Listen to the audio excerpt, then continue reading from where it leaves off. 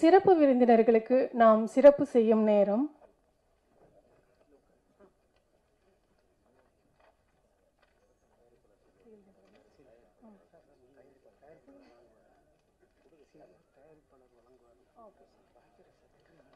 நமது சிறப்பு விருந்தினர்களுக்கு சீல்டு தயாரிப்பாளர் அவர்கள் வழங்குவார்கள்.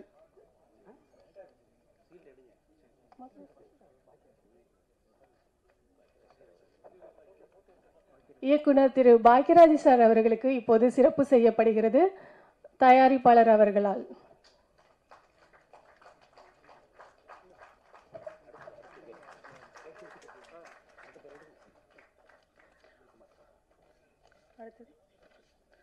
அடுத்ததாக இயக்குனர் ஆர் வி உதயகுமார் சார் அவர்களுக்கு சிறப்பு செய்யப்படுகிறது.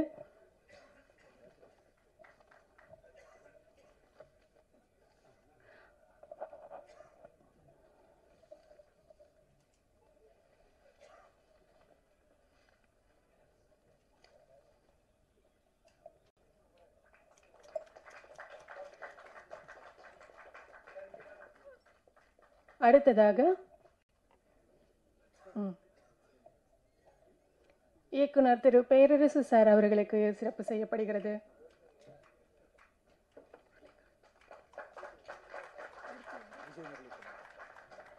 அடுத்ததாக திரு விஜய் முரளி சார் அவர்களுக்கு சிறப்பு செய்யப்படுகிறது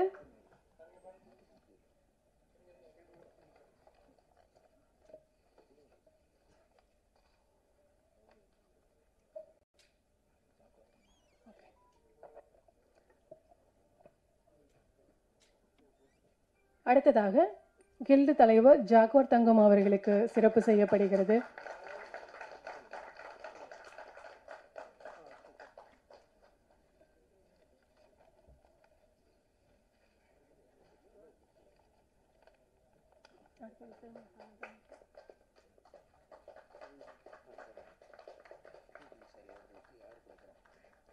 அடுத்ததாக அடுத்ததாக தமிழ் அன்சாரி சாருக்காக சிறப்பு செய்யப்படுகிறது.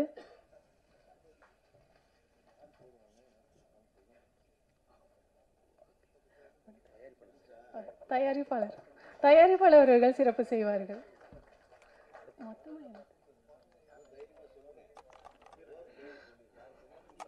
ஓகே.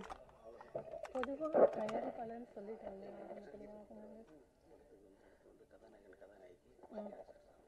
அடுத்ததாக படத்தின் கதாநாயகன் மற்றும் கதாநாயகிக்கு இயக்குனர் திரு பாக்யராஜி சார் அவர்கள் சிறப்பு செய்வார்கள். கார்த்திக் சரண் கதாநாயகன் அவர்களுக்கும் கதாநாயகி மகானா அவர்களுக்கும் பாக்யராஜி சார் அவர்களால் சிறப்பு செய்யப்படுகிறது.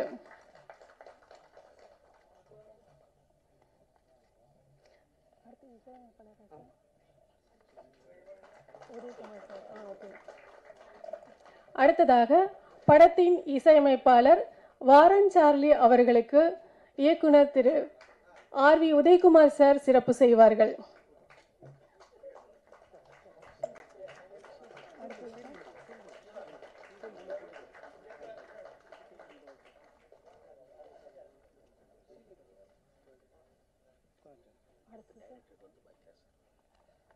அடுத்ததாக இயக்குனர் அவர்களுக்கு திரு பாக்யராஜி சார் அவர்கள் சிறப்பு செய்வார்கள். சார்.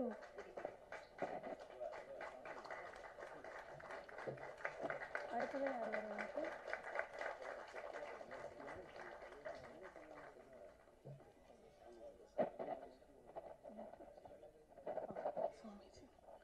அடுத்ததாக நல்வழி குருஜி அவர்களுக்கு திரு முரளிகிருஷ்ணன் சார் பொன்னடை விஜய் முரளி சார் பொன்னடை போர்த்தி கௌரவிப்பார்கள்.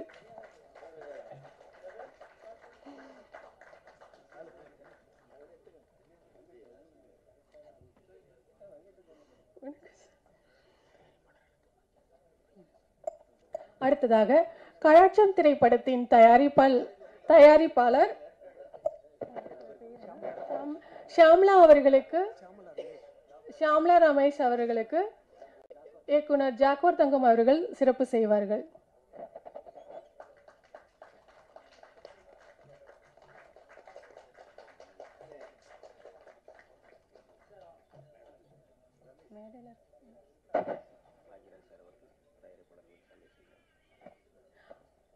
அதைத் தொடர்ந்து பாக்யராஜி சார் அவர்களுக்கும் பாக்யராஜி சார் அவர்களும் தயாரிப்பாளருக்கு சிறப்பு செய்து கொண்டிருக்கிறார்கள். உங்களுடைய கரகோஷத்துடன்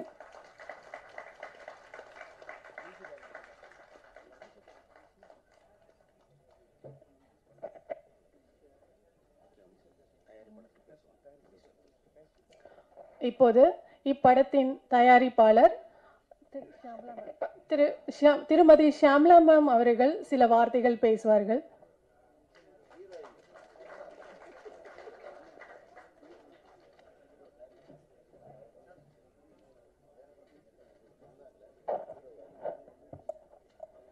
இங்கு வந்து தலைமை தாங்கும் சிறப்பு விருந்தினர் அவர்களுக்கும் மற்றும் என்னுடைய கலாச்சாரம் டீமுக்கும் இங்கு வந்திருக்கும் அனைவருக்கும் என்னோட முதல் கரு வணக்கம். இது என்னோட முதல் படம். இந்த படம் நல்லா வந்திருக்கு சாங்ஸும் நல்லா வந்திருக்கு. நீங்கள் எல்லாரும் சப்போர்ட் பண்ணணும். நான் இளம் கலைஞர்கள்லாம் நிறைய பேர் இருந்தாங்க. திறமை இருந்தும் எதுவும் சாதிக்க முடியாமல் அப்படியே இருந்தாங்க. சரி அவங்களுக்கு ஒரு வாய்ப்பு கொடுப்போமேன்னு சொல்லிட்டு தான் இந்த படத்தை நான் எடுத்தேன். அதே போல் நானும் ஒரு படி வளரணும் எனக்கும் எதாவது தெரிஞ்சுக்கணும் நானும் எதையாவது சாதிக்கணும் அப்படின்னு சொல்லிட்டு தான் நான் இதை எடுத்தேன். இது எனக்கு ஒரு முற்றுப்புள்ளி மட்டும்தான். இன்னும் நிறைய தொடரணும் நிறையா படம் எடுக்கணும். அதுக்கு நீங்கள் எல்லாருமே சப்போர்ட் பண்ணணும். தேங்க்யூ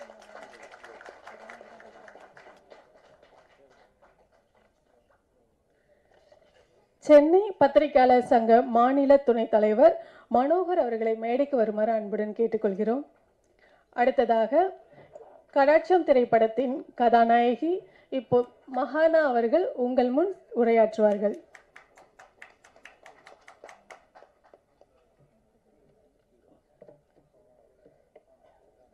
எல்லாருக்கும் வணக்கம். எல்லாருக்கும் வணக்கம். ப்ரெஸ் மீடியா இன்டர்நெட் நண்பர்களுக்கும் மேடையில் அமர்ந்திருக்கும் பெரியவர்களுக்கும் இங்கு வந்திருக்கும் அனைத்து நல் உள்ளங்களுக்கும் முதற்கன் வணக்கம். இன்னைக்கு கடாச்சம் படத்தோட ஆடியோ லான்ச் இந்த நாளுக்காக தான் கடாச்சம் டீம் வந்து ரொம்ப நாள் வெயிட் பண்ணிட்டு இருந்தோம். ஸோ இன்னைக்கு சக்ஸஸ்ஃபுல்லாக ஆடியோ லான்ச் வந்திருக்கு. பாக்கியராஜ் சார் அப்புறம் இங்கே இருக்க எல்லா பெரியவங்க முன்னிலையிலையும் ஸோ இது வந்து பார்த்திங்கன்னா ஃபுல் அண்ட் ஃபுல் சத்தியமங்கலம் ஃபாரஸ்ட்டில் தான் எடுத்தோம். இது வந்து ஒரு சஸ்பென்ஸ் த்ரில்லர் இன்டீரியர் ஃபாரஸ்ட்டுக்குள்ளே நடக்கக்கூடிய ஒரு சஸ்பென்ஸ் த்ரில்லர் இந்த ஷூட் பண்ணும்போது இவங்க ஷியாம்லா ரமேஷ் அவங்க தான் வந்து ப்ரொடியூசர் டைரக்டர் வந்து பட்டுக்கோட்டை சிவா. ஸோ இப்போ சொன்னாங்க இவங்க ஒரு படம் எடுக்கிறது அப்படின்றது வந்து ஒன் இயர் வந்து அந்த குழந்தைய வந்து சுமக்கிறது மாதிரி அவ்வளோ கஷ்டம்னு சொல்லி. ஸோ அது கண்டிப்பாக உண்மை தான் அதில் வந்து ஒரு நூறு பேர் ஒர்க் பண்ணோம். அதுக்கான எல்லா இன்சார்ஜுமே வந்து பார்த்தீங்கன்னா எங்கள் ப்ரொடியூசர்ஸ் அண்ட் டேரக்டர் தான். ஸோ ஃபஸ்ட்டு அவங்களுக்கு நான் நன்றி சொல்லணும். தேங்க்யூ ஸோ மச் ஷூட் நடக்கும்போது எனக்கு ஃபீவர் இருந்தது. பட் அந்த டைமில் உண்மையிலே என்னோட ஒரு அம்மா மாதிரி பார்த்துக்கிட்டாங்க. ஷியாம்லா ரமேஷ் ப்ரொடியூசர் ஸோ அவங்கள லைஃப்பில் எப்போவும் மறக்க மாட்டேன். ஒரு ப்ரொடியூசர்னால் ஷூட் ஆரம்பிக்கும் போது வருவாங்க. அடுத்து பூசணிக்காய் உடைக்கும் போது வருவாங்க. அப்படி தான் பார்த்துருக்கேன். நான் தப்பாக எதுவும் சொல்லலை. ஏன்னா அவங்களுக்கு பிஸியாக இருக்கும்ல வேறு ஷெடியூல் எதனா ஒர்க் இருக்கும் பிஸ்னஸ் ஒர்க் பட் வந்து எங்கள் ப்ரொடியூசர் எப்படின்னா ஃபஸ்ட் டே ஷூட்டில் இருந்து ஃபைனல் டே பூசணிக்காய் உடைக்கு வரைக்கும் கூடவே இருப்பாங்க. அது மட்டும் இல்லை ஒரு வீட்டில் ரெண்டு மூணு பேர் வச்சு ஆர்கனைஸ் பண்ணுறதே ரொம்ப டிஃபிகல்ட்டு ஒரு ஸ்கூலில் ஸ்டூடெண்ட்டை இல்லை காலேஜில் ஸ்டூடெண்ட்டை வந்து கண்டக்ட் பண்ணுறது எவ்வளோ டிஃபிகல்ட்டோ அதே மாதிரி டெய்லி மார்னிங் வந்து மேனேஜர் ஒர்க்கு எல்லா ரூமுக்கும் போயிட்டு ஃபோர் ஓ கிளாக் எந்திரிக்கணும். ஏன்னா எந்திரிச்சா தான் வந்து சத்தியமங்கலம் ஃபாரஸ்ட்டில் நாங்கள் ஷூட் பண்ண முடியும். ஏன்னா அது வந்து ஒரு டார்க் ஃபாரஸ்ட் அங்கே பெர்மிஷன் வாங்கி எல்லாருக்கும் தெரியும். வீரப்பன் வாழ்ந்த காடு அது. ஸோ அங்கே போய் ஷூட் பண்ணோம். ரொம்ப டிஃபிகல்ட்டாக இருந்தது. டேல பார்த்தீங்கன்னா அந்த யானை வரும். அதுக்கப்புறம் சிங்கம் புலி அது எல்லாமே வரும். அது அது எல்லாமே எல்லாருக்கும் ரொம்ப பயமாக இருந்தது. பட் அது எல்லாத்தோடையும் எல்லாரும் சப்போர்ட் பண்ணி படம் ரொம்ப நல்லா வந்திருக்கு. இவர் ஹீரோ வந்து கார்த்திக் சரண் பண்ணியிருக்காரு. இது வந்து அவரோட டெபுட் ஃபிலிம் ஃபஸ்ட்டு படமாக இருந்தாலும் he is a dancer song ரொம்ப நல்லா பண்ணியிருக்காரு. அது மட்டும் இல்லாமல் ஷூட்டிங் வந்து சத்தியமங்கலம் திருச்சியில் இருக்க துறையூர் காலேஜில் தான் எடுத்தோம். காலேஜ் ஸ்டூடெண்ட் எல்லாருமே எங்களுக்கு சப்போர்ட் பண்ணாங்க. டோட்டலாக ஃபார்ட்டி ஃபைவ் டேஸ் ஷூட் இருந்தது. அதில் தேர்ட்டி ஃபைவ் டேஸ் என்னோட போர்ஷன் இருந்தது. மார்னிங் எவ்ரிடே வந்து மேம் தான் வந்து மார்னிங் ஃபோர் ஓ கிளாக்கே வந்துருவாங்க. ஏன்னா சிக்ஸ் ஓ கிளாக் இங்கே ஷார்ட் வைக்கணும். இல்லைன்னா வந்து அந்த சன்லைட் வராது. ஸோ அது எல்லாத்தையும் ஹெல்ப் பண்ணாங்க. அதில் நடந்த ஒரு சின்ன விஷயத்தை அவங்க கூட நான் ஷேர் பண்ணிக்கிறேன். சொல்லக்கூடாது கதையே சொல்லக்கூடாது பட் என்னென்னா ஒரு ஸ்டண்ட்டு ஒரு சின்ன விஷயம் இருக்கும். அது ஸ்டண்ட்டு பண்ணாமல் நானே டைரெக்டாக பண்ணியிருந்தேன். அதனால எங்கள் ஷூட்டிங் எதுவும் கேன்சல் ஆகிடுமோ அப்படின்னு சொல்லிட்டு எனக்கு ரொம்ப பயமாயிடுச்சு. அப்புறம் நான் சொல் பயந்துட்டேன். ஏன்னா interior ஃபாரஸ்ட்டுக்குள்ளே full and full animals wild animals மட்டும்தான் அங்கே இருக்கும். பட் ஷியாமலா ப்ரொடியூசர் மேம் வந்து என்ன சொல்லிட்டாங்கன்னா இல்லை வேண்டாம். அந்த பொண்ணு பயப்படுறாங்க கொஞ்சம் டைம் எடுத்துக்கலாம். அப்படின்ற மாதிரி எனக்கு ரொம்ப சப்போர்ட் பண்ணாங்க.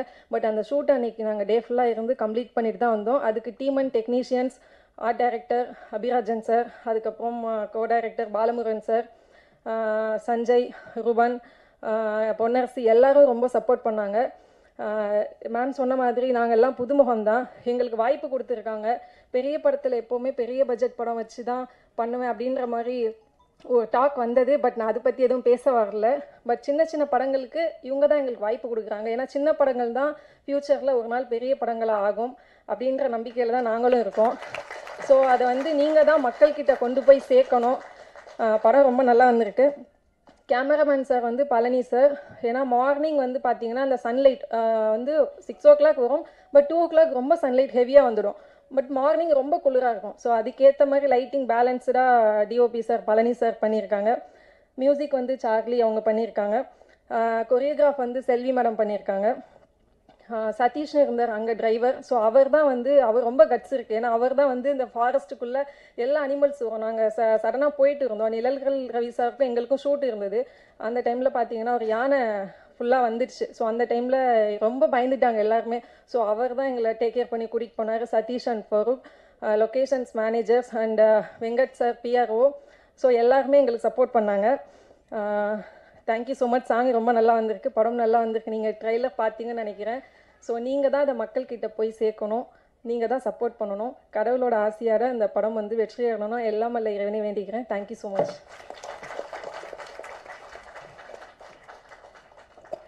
படத்தை பற்றி ஒட்டுமொத்தமாக பேசிட்டாங்க.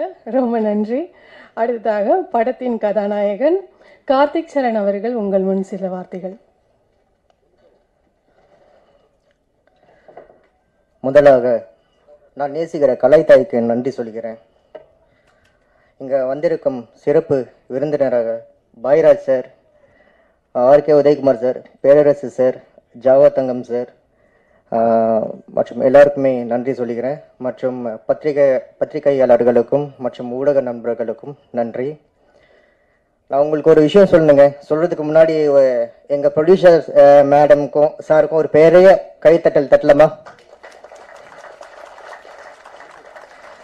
ஆக்சுவலி பார்த்தீங்கன்னா இன்னைக்கு நான் உங்கள் முன்னாடி ஹீரோவாக நின்று பேசுகிறதுக்கு காரணமே அவங்க ரெண்டு பேர் தான். இன்னைக்கு அவங்க ரெண்டு பேர் இல்லைன்னா நான் இல்லை. ஜீரோ தான். ஏன்னா எனக்கு வந்து இந்த படத்தில் அவங்க வந்து ஒரு பெரிய லைஃப் கொடுத்துருக்காங்க. ஒரு ஹீரோவாக இந்த படத்தில் வந்து ப்ரொடியூஸ் பண்ணி என்னை ஹீரோவாக நடித்து வச்சுருக்காங்க. உண்மையிலே அவங்களுக்கு வந்து பெரிய நன்றி சொல்லிக்கிறேன். எவ்வளோ நன்றி சொன்னாலும் அவங்களுக்கு பத்தாது. ஆனாலும் அவங்கள எப்பவுமே மறக்க மாட்டேன். என்ன சொல்கிறதுன்னு தெரியல வார்த்தைகளே இல்லை. ஷாம்லா மேம் ரமேஷ் சார் நன்றி சார்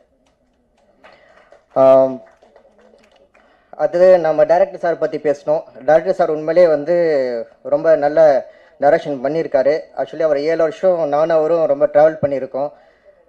ஒரு நாள் வந்து கதையை சொன்னார் இது மாதிரி பண்ணலான்னு சொல்லிட்டு.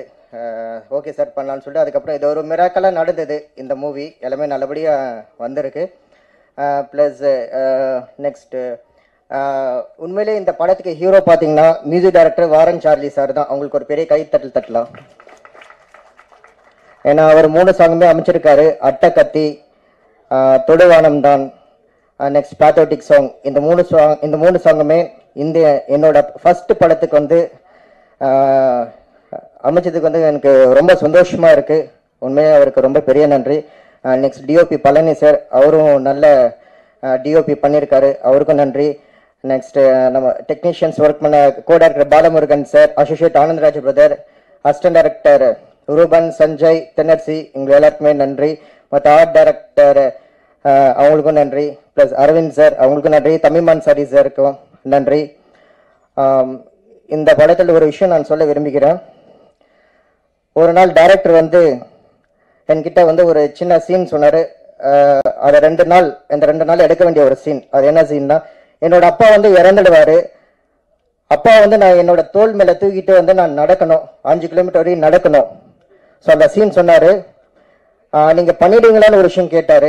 சார் கண்டிப்பாக பண்ணிவிடுவேன் சார்ன்னு இல்லை எல்லாருமே கேட்குறாங்க இந்த சீன் நீங்கள் பண்ணுவீங்களா? ஹீரோ பண்ணுவாரான்னு சொல்லி கேட்டாங்கன்னு அப்படின்னு என்கிட்ட சொன்னார். கண்டிப்பாக நிச்சயமாக பண்ணுவேன் சார். எனக்கு நம்பிக்கை இருக்குது கண்டிப்பாக பண்ணுவேன் அப்படின்னு சரி ரெண்டு நாள் கழிச்சு அந்த சீன் எடுக்கிறாங்க. அப்பாவை வந்து இறந்த மாதிரியும் என் தோல் மேலே நான் எடுத்து தூக்குறேன். கிட்டத்தட்ட அவருக்கு வந்து எண்பது டு எண்பத்தஞ்சு கிலோ அவருக்கு. அதுக்கப்புறம் வந்து நான் தூக்கும் பொழுது நம்ம டெக்னீஷியன் சைட்லேருந்து லைட் டெக்னீஷியன் சைட்லேருந்து மாறன் அண்ணா வந்து மாரி மாரி அண்ணா சாரி மாரி அண்ணா வந்து நான் உங்களுக்கு டூ போட்டு நான் பண்ணிட்டுமா சார் அப்படின்னு கேட்டாங்க. இல்லை நான் வேண்டாம் நான் நானே பண்ணிடுறேன். எனக்கு நம்பிக்கை இருக்குது நான் தூக்கிட்டு நான் நடந்துடுறேன். இதுக்கு முன்னாடி இன்னொரு விஷயம் உங்களுக்கு சொல்லணும்.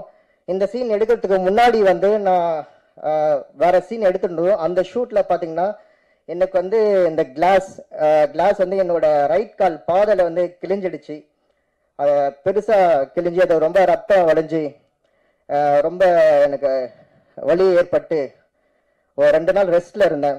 அதுக்கப்புறம் இந்த இந்த காயத்தோடயே வந்து அப்பாவை அந்த கேரக்டர் வந்து என் தோல் மேலே தூக்கி வச்சு தொடர்ந்து மூணு நாள் ஷூட்டு அதை எடுத்து என் தோல் மேலே தூக்கிட்டு ரெண்டு கிலோமீட்டர் மூணு கிலோமீட்டர் அது மாதிரி வந்து நடக்க வச்சாங்க. இது ரொம்ப பெரிய லெவலில் சீன் இது நல்லா வந்திருக்கு. ஏன்னா இங்கே எல்லாருமே பார்க்க வேண்டிய சீன் இது. அதே மாதிரி இந்த கலாச்சம் படம் நம்ம பத்திரிகையாளர்கள் மற்றும் ஊடக நண்பர்கள் பொதுமக்கள் மத்தியில் இது கொண்டு போய் சேர்க்க வைக்க வேண்டும். சாரி நான் ரொம்ப திணறன்னு நினைக்கிறேன் பேசுறதுக்கு. ஸோ எப்பவுமே ஆக்சுவலி நான் காலேஜ் படிக்கும்போது எப்பவுமே வந்து என்னோட ஹெச்ஓடி வந்து செமினார் எடுப்ப சொல்லுவாங்க. செமினார் எடுக்கும்போது ஃபர்ஸ்ட் அந்த மைக்கில் மைக்கில் பேசும்போது லைட்டாக அதை ஷுவர் எடுக்கும். ஸோ சாரி எங்களுக்கு எப்படியா சப்போர்ட் பண்ணுங்க. இந்த கலாச்சாரம் பெரிய லெவலில் சக்ஸஸ் ஆகணும். ரொம்ப கஷ்டப்பட்டிருக்கோம். மறுபடியும் சொல்கிறேன் எங்களோட ப்ரொடியூசர் ஷாம்லா மேடம்க்கும் ரமேஷ் சாருக்கும் ரொம்ப ரொம்ப நன்றி. எல்லாரும் சப்போர்ட் பண்ணுங்க. நன்றி. உங்களின் கடின உழைப்புக்கு நிச்சயம் இறை கடாட்சம் கிடைக்கும். நிறைய வெற்றி படங்கள் கிடைக்கும். வாழ்த்துக்கள். அடுத்ததாக திரைத்துறையில் தன் இசை ஒலிக்க விடாமுயற்சியுடன் விடாமுயற்சியுடன் விடியலுக்காய் காத்திருந்த இவரின் இசை இன்று குரு கடாட்சத்துடன் திரையில் ஒலிக்கிறது. இன்னும் பல வெற்றி பயணம் தொடர பத்திரிகை மற்றும் ஊடக நண்பர்கள் வெளிச்சம் மக்கள் முன் வெளிச்சம் காட்ட இவர்களுக்கு நீங்க உதவி செய்ய வேண்டும் என்று கேட்டுக்கொள்கிறோம். இன்- இன்றைய விழா நாயகன் இசையமைப்பாளர் வாரன் சார்லி அவர்களே உங்கள் முன் பேச அழைக்கின்றோம்.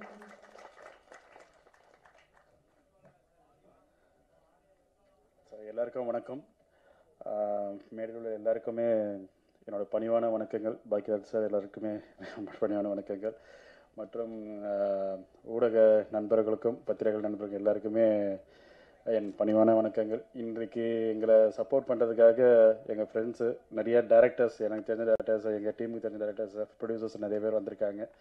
ஸோ அவங்களுக்கு எல்லாருக்குமே ரொம்ப ரொம்ப தேங்க்யூ வந்து எங்களை மேலும் மேலும் உயர்த்தத்துக்காக வந்திருக்கீங்க. அது ரொம்ப தேங்க்யூ ஸோ ஆக்சுவலாக இவங்களுக்கு பின்னாடி நான் வந்ததுனால நான் பேசுகிற எல்லாமே நிறைய பாயிண்ட்லாம் எழுதி வச்சு பேப்பரில் வந்து வேஸ்ட் ஆயிடுச்சு ஆக்சுவலாக நிறைய பேசிட்டாங்க ஆக்சுவலாக ஸோ திருப்பி ரிப்பீட் பண்ண வேணாம்னு பார்க்குறேன் ஸோ என்ன இப்போ சாங்கை பற்றி இல்லை மொத்தம் மூணு சாங் ஆக்சுவலாக ஸோ அந்த மூணு சாங்கில் பார்த்தீங்கன்னா ஒன்று வந்து கார்த்திக் பாடியிருக்காரு. இன்னொன்று வந்து உன்னிமனன் சார் உன்னிமனன் சார் வந்து ஆஹ் கள்ளிக்காட்டு அந்த இதில் வந்து ஒரு அம்மா சாங் பற்றி அவர் பாடிட்டு நேஷனல் அவார்டு வாங்கினாரு. ஸோ இந்த இதில் வந்து அவர் அப்பா சாங் பாடிட்டு இது நாங்கள் ட்ரை பண்ணுறோம் ஸோ கடவுள் வந்துருச்சுன்னா நல்லாயிருக்கும் ஸோ அவரே நிறைய விஷ் பண்ணார் உனிமினன் சார் மூணாவது சாங் வந்து ஹங்கேரி சிங்கர் கார்த்திகான்னு சொல்லிட்டு அவங்க அங்கேயே நாங்கள் ரெக்கார்ட் பண்ணி இங்கே நாங்கள் இது பண்ணோம் ஆக்சுவலாக மிக்சிங் பண்ணோம்.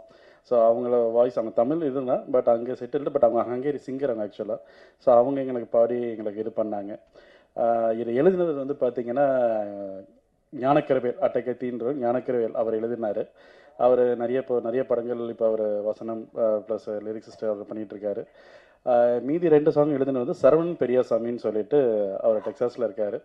அவர் வந்து அவரும் பாகுபலியில் அவர் எழுதியிருக்காரு ஆக்சுவலாக அவரும் இல்லை பண்ணியிருக்காரு ஆக்சுவலாக ஸோ எங்களோட டேரக்டர் சிவா சார் வந்து எப்படின்னா கதை சொல்லிட்டு எல்லாம் இது பண்ணிவிட்டு என்னை ஃப்ரீடமாக விட்டுட்டார் ஆக்சுவலாக நீங்கள் போட்டு கேட்டுங்க நான் பட் ஆனால் எனக்கு என்னென்னா ஒரே ஒரு சாங்க்கு மட்டும் ஒரே ஒரு சாய்ஸ் கேட்டார். மற்றபடி மீதி ரெண்டுமே எனக்கு ஓகே பண்ணிட்டார். கடைசியாக ரெண்டாவது போட்டதை விட ஃபஸ்ட்டு போட்டது ஓகே சார் அதே ஓகே பண்ணிடுங்கன்னு சொல்லிட்டு இது பண்ணார்.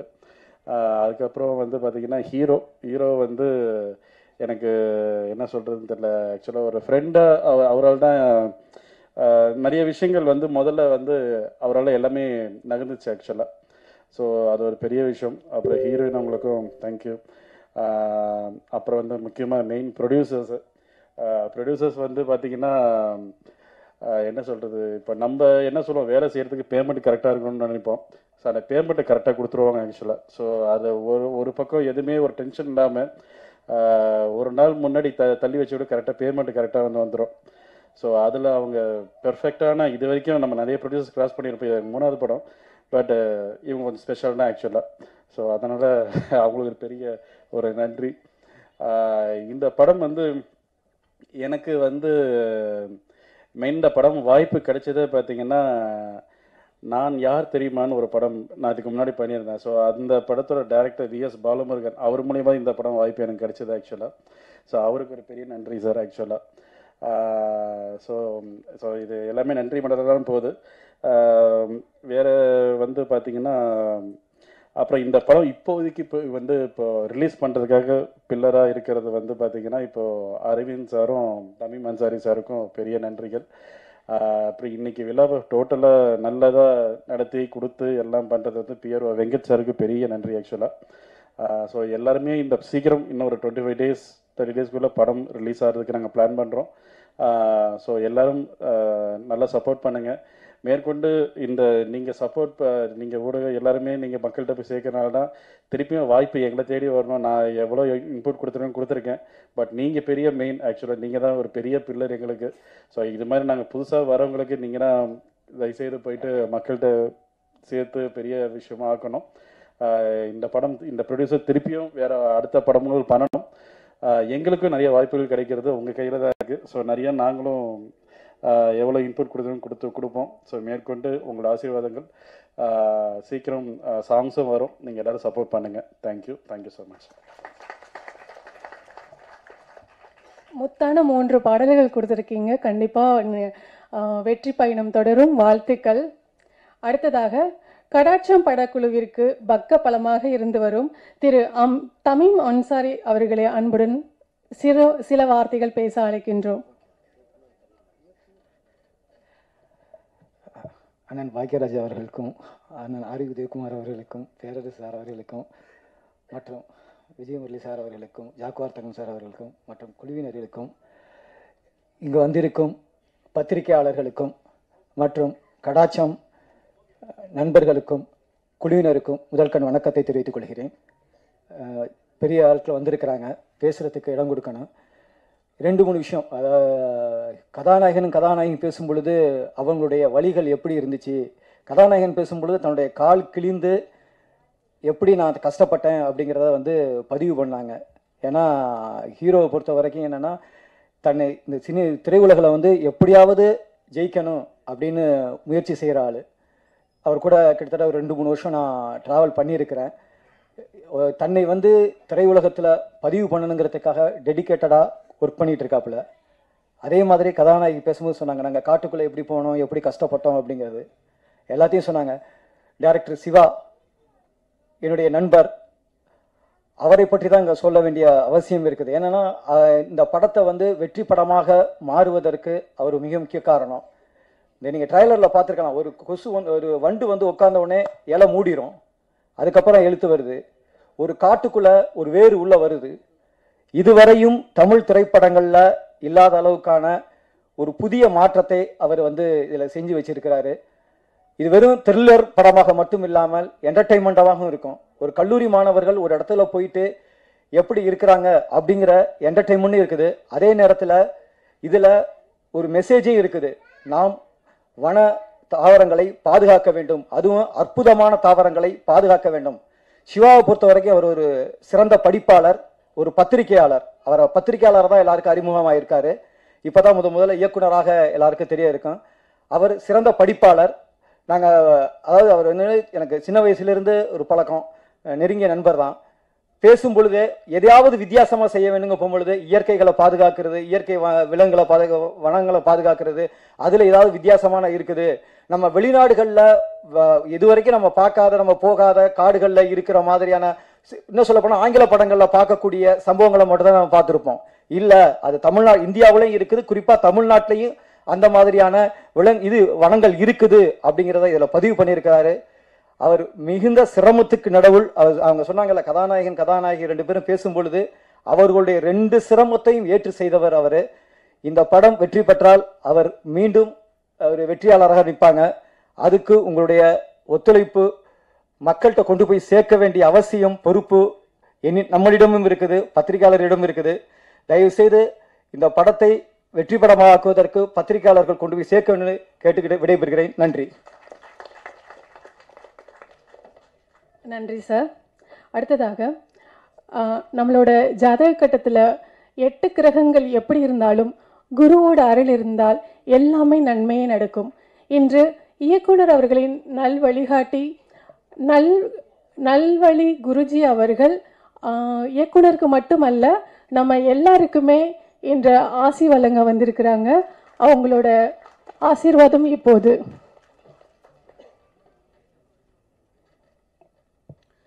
சங்கே முழங்கு.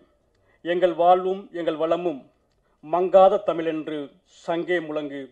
ஆண்டோர்களும் சான்றோர்களும் திரைப்பட கலைஞர்களும் பத்திரிகை நண்பர்களும் ஊடகத்தைச் சேர்ந்த நண்பர்களும் குழுமிருக்கின்ற இந்த நிகழ்ச்சியிலே இந்த மாலை பொழுதிலே இந்த இணைய நிகழ்ச்சியான இன்- இசை நிகழ்ச்சி துவக்க விழாவிற்கு வரைந்திருக்கின்ற உங்கள் அனைவருக்கும் என்னுடைய வணக்கத்தை தெரிவித்துக் கொள்கின்றேன்.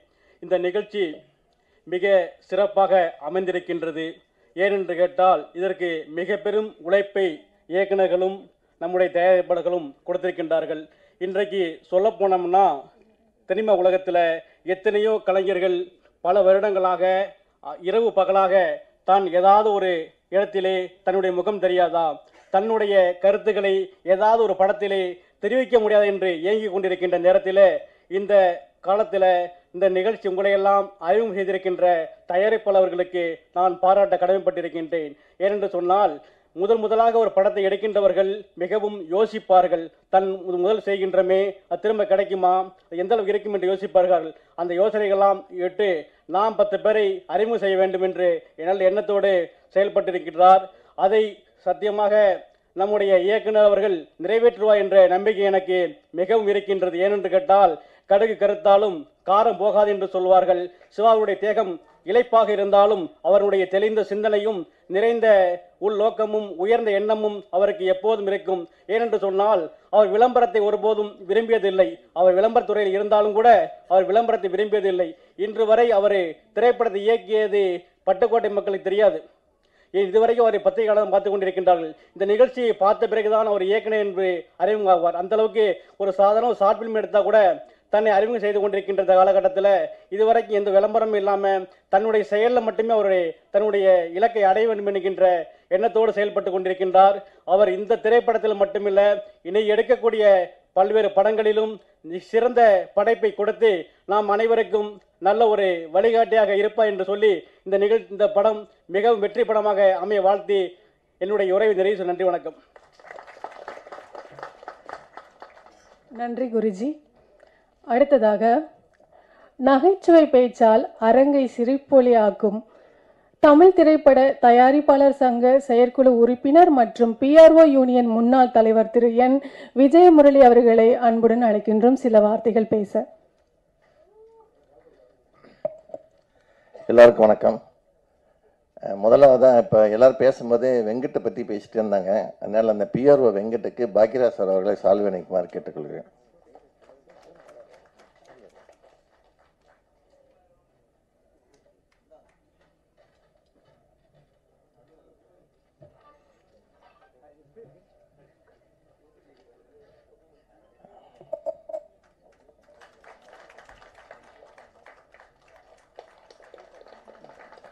அடுத்ததாக தொகுப்பாளினி மதுரா அவர்களுக்கு ஆர்வி உதயகுமார் அவர்களை சால்வனைக்குமாறு கேட்டுக்கொள்கிறேன்.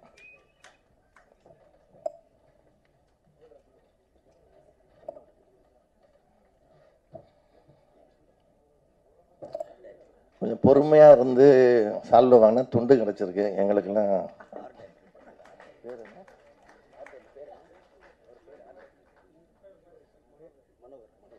ஆர்ட் டைரக்டர் மனோகர் அவர்களுக்கு பேரரசு அவர்களை சால்வனிக்குமாறு கேட்டுக்கொள்கிறேன்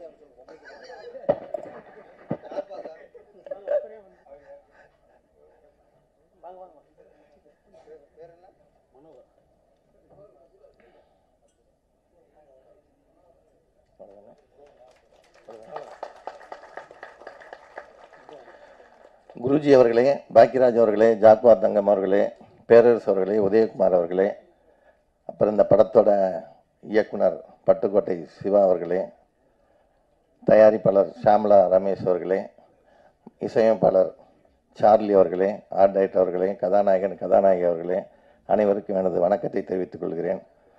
இந்த ட்ரெய்லரும் நம்ம சாங்கும் பார்த்தோம். உண்மையிலே நல்லா இருக்குது. நம்ம டேரக்டர் பார்த்திங்கன்னா மனோபாலா தம்பி மாதிரியே வந்து நின்னார். இவர் வந்து இப்படி ஒரு ஸ்டூடெண்ட்ஸ் வச்சு படம் எடுத்திருக்காருன்னா உண்மையை பாராட்ட வேண்டிய விஷயம்தான் அவர்கிட்ட. அவர்கிட்ட ஒரு திறமை இருக்குது இல்லைன்னா ஆர்வி உதயகுமார் சாரும் பேரர் சாரும் பாக்யராஜ் சார்லாம் வந்திருக்க மாட்டாங்க. ஸோ அவர் பாக்யராஜ் சார் நடிச்சிருக்கனால அவர் வந்திருக்கிறாரு. அப்புறம் இந்த படத்தோட கதாநாயகன் நம்ம கன்னட படத்தில் பெரிய ஆளாக இருக்கிற யஷ் ம யஷோட ஜூனியர் மாதிரி வந்திருக்கிறார் அவர். ஸோ அவருக்கு நல்ல எதிர்காலம் இருக்குது ஆனால் கதாநாயகி வந்து தமிழ் தெரிஞ்ச ஒரு கதாநாயகி வந்தது ரொம்ப பெருமைக்குரிய விஷயம். ஏன்னா வந்து நிறைய பேர் எனக்கு தமிழ் கொஞ்சம் கொஞ்சம் தெரியும்னு சொல்லிட்டு போயிடுவாங்க பட் நல்லா தமிழ் பேசுகிறாங்க என்னென்ன கமலஹாசன் ஊர்லேருந்து வந்திருக்கிறாங்க பரமக்குடியிலேருந்து. ஸோ அதனால் அந்த கா அந்த காத்தாவது கொஞ்சம் இருக்கும் இல்லையா? நம்ம இயக்குனர் பகவதி பாலாவோட சிஸ்டரோட டாக்டர் தான் இவங்க. ஸோ அதனால் வந்து அந்த சினிமா ரத்தம் இருக்குது. ஸோ அதனால் வந்து சினி சினிமாவில் பார்த்த அது ஷூட்டிங்கில் பார்த்த அத்தனை விஷயத்தையும் ப்ரெஸ்ஸுக்கு ரொம்ப இன்ட்ரெஸ்டிங்காக சொல்லியிருக்காங்க. ஸோ அதெல்லாம் நீங்கள் நோட் பண்ணிக்கோங்க. அதே மாதிரி இசையமைப்பாளர் வந்து சார்லிக்கு நல்ல எதிர்காலம் இருக்குது அவரும் நல்லா பண்ணியிருக்கிறாரு.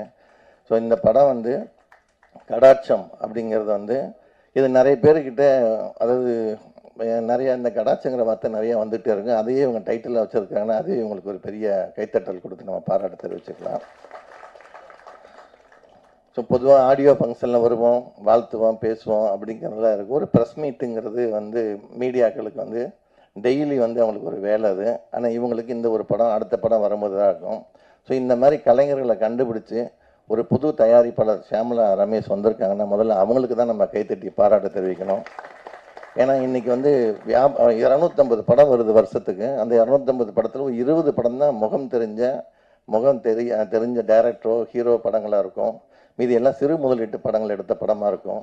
அந்த இரநூத்தி முப்பது படங்கள் தான் சினிமா வாழ வச்சுக்கிட்டு இருக்கு பெப்சி தொழிலாளிகளாக இருக்கட்டும் தேட்டருக்காரங்களுக்கு படம் கொடுக்குறதா இருக்கட்டும் அந்த மாதிரி சின்ன படங்கள் தான் அவங்களுக்கு வந்து வாழ்க்கையை கொடுத்துட்டு இருக்குது ஸோ அதனால் ச- சிறு முதலீட்டு படம் எடுக்க வராதீங்கன்னு யாரும் சொன்னால் அது நல்லா இருக்காது.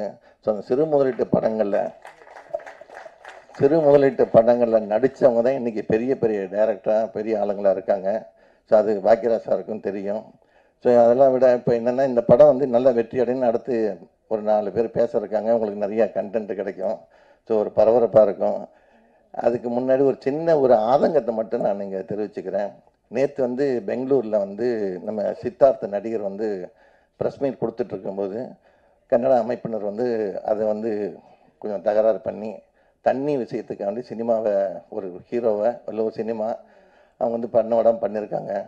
பொதுவாக சினிமாக்காரங்கிறது ஒரு பொதுவான ஆளுங்க. சினிமா ஆல் ஓவர் இந்தியா வரட்டும் உலகம் ஃபுல்லாக இருக்கட்டும். சினிமாங்கிறது ஒரு பொது அது கட்சி பாகுபாடு இல்லாமல் ஜாதி மதம் இல்லாமல் இன மொழி பாகுபாடு இல்லாமல் எல்லாம் ஒரே இடத்துல உட்கார வைக்கிற ஒரே சாதனம் சினிமா தான். ஸோ அதுக்குள்ளே கொண்டு வந்து இந்த மாதிரி அமைப்புகள்லாம் வந்து பண்ணால் நல்லா இருக்காது. ஸோ நீங்கள் செய்ய வேண்டியது அரசாங்கத்துக்கிட்ட பேசலாம். இல்லை கட்சிகள்கிட்ட போய் பேசலாம். சினிமாக்காரங்கிட்ட அது சினிமா கிட்ட சினிமா வந்து என்டர்டெயின்மெண்ட்டாக பாருங்க அப்படிங்கிறத மட்டும் நான் சொல்லி இந்த படம் மாபெரும் வெற்றியடைய எல்லாம் இல்லை. இறைவனை வேண்டி விடைபெறுகிறேன். நன்றி வணக்கம். நன்றி சார். அடுத்ததாக இவர் தனது ஆறு வயதில் சிலம்பம் கற்கத் தொடங்கியவர். மக்கள் திலகம் எம்ஜிஆர் அவர்களால் அடையாளம் காணப்பட்டு திரைத்துறையில் சண்டை பயிற்சியாளராய் அறிமுகமாகி ஆயிரத்திற்கும் மேற்பட்ட படங்களில் பணியாற்றியவர். பல விருதுகளை வென்றவர். தான் பங்கேற்கும் மேடைகளில் தமிழன் வென்றே தீருவான் என்று ஓங்கி ஒழிப்பவர் கில்டு நிறுவனத்தின் செயலாளர் திரு கலைமாமணி ஜாக்வர் தங்கம் அவர்களை அன்புடன் அழைக்கின்றோம். கில்டு தலைவர் ஜாக்வர் தங்கம் அவர்களை அன்புடன் அழைக்கின்றோம்.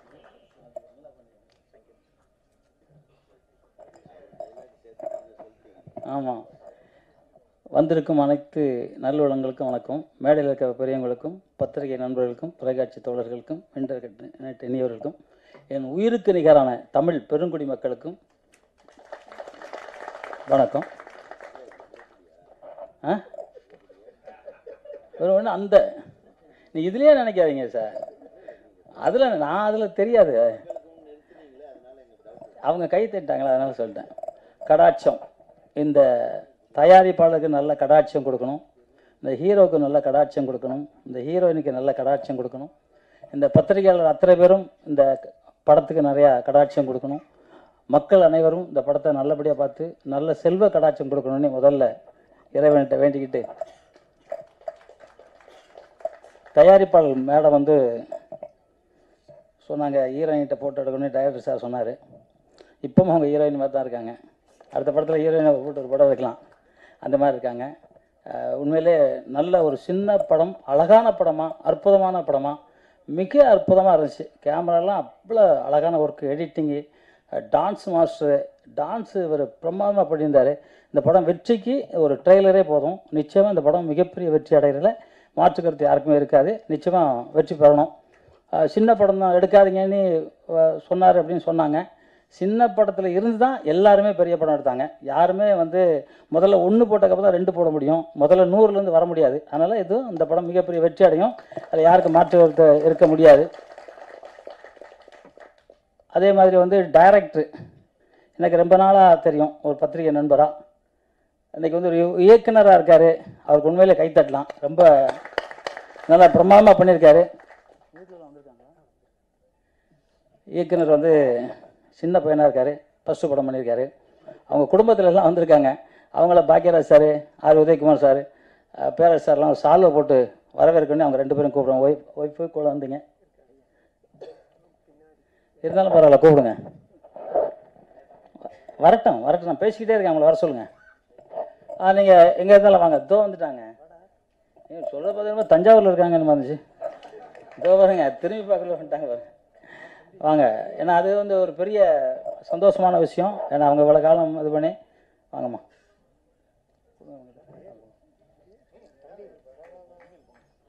நானும் வரேன். நீங்கள் போங்க நீங்கள் முக்கியமாக போங்க. வாங்க வேற அவங்க பசங்க. ஆ வாங்க உங்க போங்க. வாங்க போங்க உள்ள போங்க. சரி வாங்க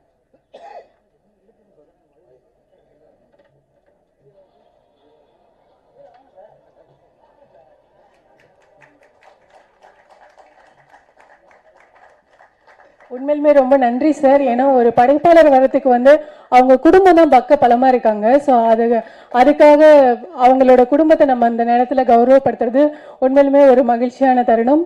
அவங்களுக்கு இது வந்து ஒரு ஒரு பெரிய ஒரு உந்துதலையும் ஒரு ஆனந்தத்தையும் கொடுக்கும். உங்களோட கரைக்கோசம் இன்னும் கொஞ்சம் இருந்தால் இன்னும் மகிழ்ச்சியாக இருக்கும்.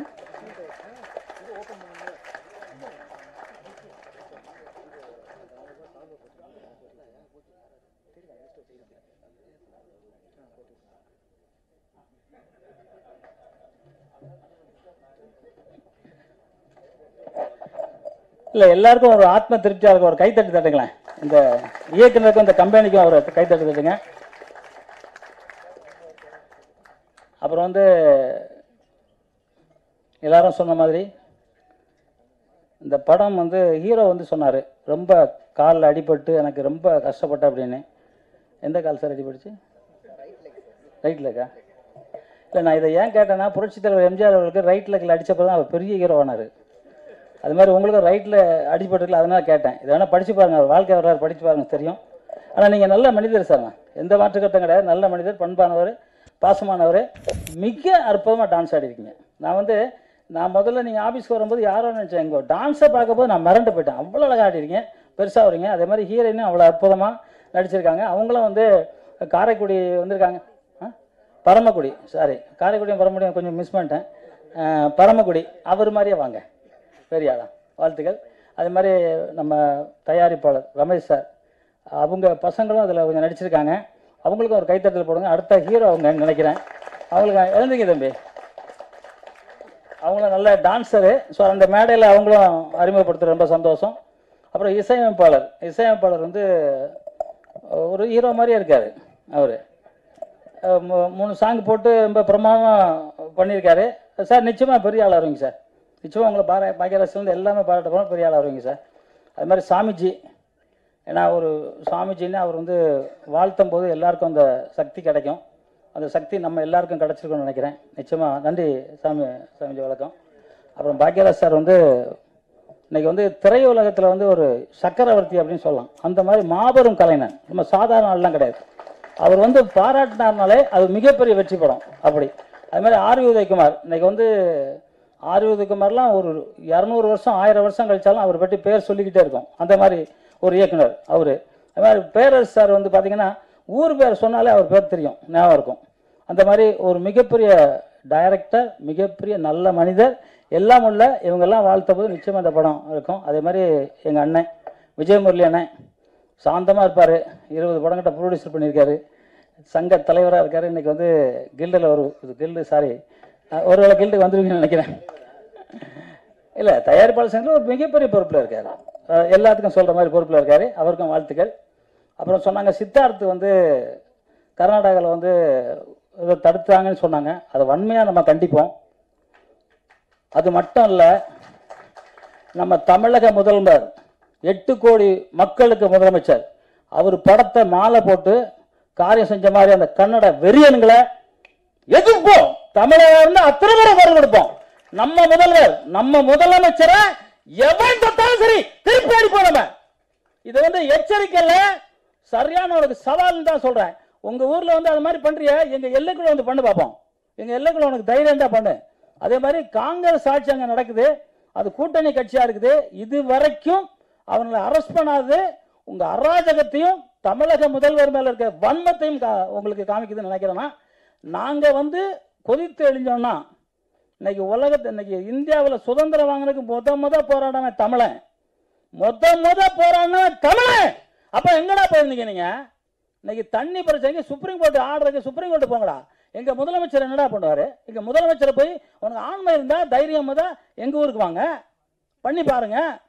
திருப்பி போறீங்களா பார்ப்போம் அதை நம்ம வன்மையா கண்டிப்போம். உங்க கரகோஷத்தோட தமிழக முதல்வரை தொட்டவன் எவரா இருந்தாலும் சரி. அவனை நம்ம அடிப்போம். தப்பே கிடையாது. ஏன் முதல்வர்? உன் நம்ம முதல்வர். எந்த கட்சி வேணாலும் இருக்கலாம். எந்த இது வேணாலும் நம்ம இருக்கலாம். ஆனால் நம்ம முதல்வர் பேரரசர் எப்பவுமே சொல்லுவார் கட்சி பெருசு இல்லை. நமக்கு நம்ம நம்ம உரிமை முக்கியம்னு சொல்லுவார் அந்த மாதிரி அந்த உரிமைக்காக நான் சொல்கிறேன் எவன் தொட்டுதான் சரி அவன் சரியான நிரந்தரமான அவன் மன்னிப்பு கேட்கணும். மன்னிப்பு கேட்க பட்சத்தில் அவனுக்கு மேலே சரியான ஆக்ஷன் எடுக்கணும். இல்லைன்னா மத்திய கவர்மெண்ட்டாவது அவங்க மேலே ஆக்ஷன் எடுக்கணும். அப்போ யார் வேணாலும் யாரை வேணாலும் இது மாதிரி பண்ணலாமா? எவ்வளோ தப்பான விஷயம் அது. அது பண்ணியிருக்காங்க. அதுக்கு உண்மையாக கண்டிக்கிறோம். அதே மாதிரி இந்த படங்கள் மிகப்பெரிய வெற்றி பெறணும். நான் எப்பவுமே சொல்கிற மாதிரி அம்மாவை வணங்குங்க. தாயை வணங்கினவன் என்றைக்கும் தரையில் விழுந்ததில்லை. புரட்சித் தலைவர் எம்ஜிஆர் அவர்கள் சொன்னது தாயை வணங்குங்க தந்தையை வணங்குங்க. உலகத்திலே அவங்க தான் கடவுள். நண்பர்கள் எல்லாமே இருக்கலாம். ஆனால் கடவுளுங்கிறது ஒரே ஒருத்தர். ரெண்டு பேர் தான் அம்மா அப்பா. அந்த அம்மா வணங்குங்க. அதே மாதிரி உலகத்தில் மூத்த மொழி என் தாய்மொழி தமிழ் மொழி அந்த தமிழுக்கு நிகரான மொழி எந்த ஊர்லேயும் எவங்கிட்டையும் கிடையாது. இன்னைக்கு சித்த மருத்துவம் சரி எதாக இருந்தாலும் சரி இன்னைக்கு சந்திர மண்டலம் போகிறோம் சூரிய மண்டலம் போகிறோம் எங்கே போனாலும் சரி சூரிய மண்டலத்துக்கு அப்புறம் என்ன உலகானி கண்டு இருந்தது கண்டுபிடிச்சது? நம்ம தமிழன் அவர் மாதிரி சித்தர்கள். இதை யாருமே கண்டுபிடிச்சதில்ல. கிட்டத்தட்ட பல ஆயிரம் வருஷத்துக்கு முன்னாடியே சூரிய கிரகத்துக்கு குதிரையை அனுப்பிச்சி விட்ருக்காங்க மரக்குதிரை அனுப்பிச்சி விட்ருக்காங்க தமிழன். சூரிய கிரகத்துக்கு அந்த பக்கம் இருக்குது இல்லையா? கீழ் ஏழு உலகம் மேல் ஏழு உலகம். அந்த ஏழு உலகத்தை கணிச்சது தமிழன். இந்த மாதத்தில் மழை வரும் இந்த மாதத்தில் வெயில் வரும் இந்த மாதத்தில் அமாவாசை வரும் இந்த டைமில் இந்த மாதிரி பௌர்ணமி வரும். அத்தனையும் கணிச்சு சொன்னவன் தமிழன். வந்து இன்ஜினியர் படிக்க வேண்டாம். அவன் படித்த படிப்புக்கு இந்த தமிழ் மொழிக்கு நிகர் எந்த மொழியும் இல்லை. அந்த தமிழ் வாழ்க தமிழ் வெல்க. தமிழன்! வென்றே தீர்வா நன்றி. ஜெய்ஹிந்த்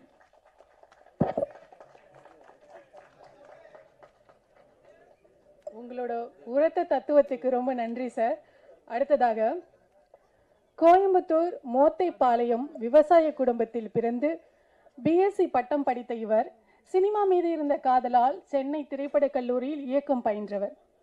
நடிகர் திலகத்திற்கு புதிய வானம் படைத்தவர் சூப்பர் ஸ்டாருக்கு எஜமானையும் புரட்சி கலைஞருக்கு சின்ன கவுண்டரையும் நவராச நாயகனுக்கு கிழக்கு வாசல் மற்றும் பொன்மணியையும் கொடுத்து தன் மண் வாசத்தை வெள்ளித்திரையில் பரவ செய்தவர். உறுதிமொழியோடு உரிமை கீதம் பாடியவர் சிங்காரவேலனையும் சுபாசையும் ராஜகுமாரனாய் கற்க கசடர நந்தவன தேரில் ஈர்த்து வந்தவர். தன் திரைப்படத்தில் பாடல்களையும் எழுதி பட்டி தொட்டி எங்கும் ஒலிக்கச் செய்தவர். இன்றைய திரைப்பட இயக்குனர் இயக்குனர் சங்க செயலாளராய் செயல்படும் இளைஞர் திரு ஆர் வி உதயகுமார் அவர்களை வாழ்த்தி பேச அன்புடன் அழைக்கின்றோம்.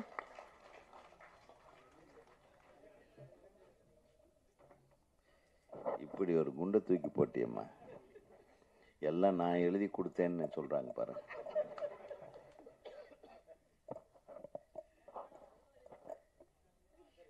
இதே மாதிரி எல்லாத்துக்கும் சொல்லிடுமா? அப்படி இல்லைன்னா எனக்கு ரொம்ப கெட்ட பேர் வந்துடும் ஆமாம் எங்கள் பொருளாளர் ஒருத்தரே போகுது நம்மளை முதல்ல பிட்டு போடுறதுக்கு. நான் வந்துட்டேன் முதல்லையே. அங்கே நின்று பாட்டெல்லாம் பார்த்தேன். பாடல்கள் ரொம்ப நல்லா பண்ணியிருக்கீங்க. இசையமைப்பாளருக்கு என்னுடைய முதல் வாழ்த்துக்கள் ஏன்னா இது அவரோட விழா. இந்த பாடல் வரிகள் கூட நல்லா இருந்தது. அந்த டூயட் பாட்டில் ரெண்டு லைனு ரொம்ப கேட்சியாக இருந்தது ஃபஸ்ட்டு. லைன் ஆமாம் ஆமாம் தொடுவானம் அப்புறம் நட்பு பற்றி கூட ஒரு லைனில் அந்த ஒரு ரொம்ப நல்ல லைன். நட்பு தான் ஆமாம் நூறு யானை பலம் நண்பன் கூட இருந்தால் அது அது நங்கூரன் மாதிரின்னு. அந்த மாதிரி சில இந்த விஷயங்கள்லாம் பார்த்தோன்னே ஓகே ஏதோ மேட்ரோடு தான் பண்ணியிருக்காங்க. அப்படின்னா கடாட்சம்ன்றது ரொம்ப நல்ல பேர் அது. நான் அது கீழே டெவில் ட்ரீ இப்படின்னு போட்டது தான் எனக்கு பயமாக இருக்குது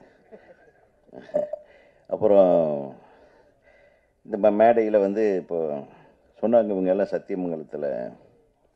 இந்த ஃபாரஸ்ட்டில் எடுத்தாங்கன்னு சொல்லி. நாங்கள் அங்கே தான் படித்தோம் படித்ததே சத்தியமங்கலம் ஃபாரஸ்ட் ஒட்டி தான் டெய்லி சைக்கிளில் போயிட்டு வந்துட்டுருப்பேன் நான்.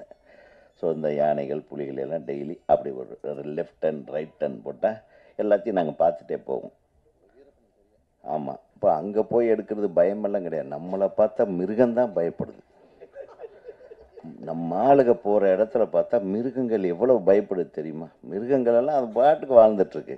இவன் உள்ளே போனான்னா இவன் சுற்றுருவானோ தந்தத்தை வெட்டிடுவானோ மரத்தை வெட்டிடுவானோ நம்மளை பார்த்து தான் அதனால் இயற்கை வந்து ஒரு ஒரு டைரக்டர் சொன்னார் அந்த மேட்டர் ரொம்ப நல்ல மேட்ரு இயற்கை வளங்களை பாதுகாப்போம்.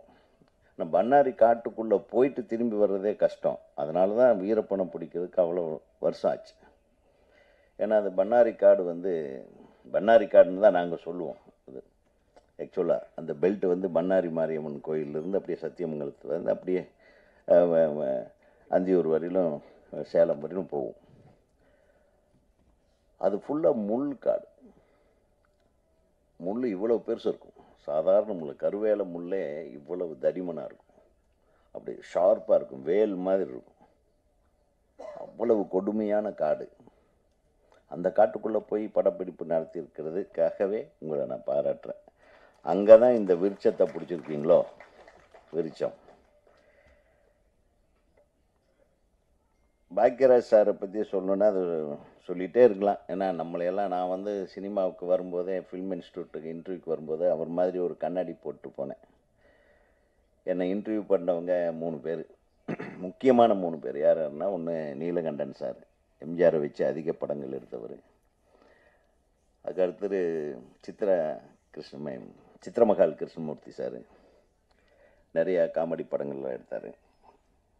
அப்புறம் அம்மா வந்து இவங்க சவுகார் ஜானகி அம்மா. இவங்கெல்லாம் தான் இன்டர்வியூ பண்ணாங்க. நான் முதல்லையே காலையில் போய் எம்ஜிஆர் பார்த்துட்டு வந்துட்டேன். எங்கள் அண்ணனை கூப்பிட்டு.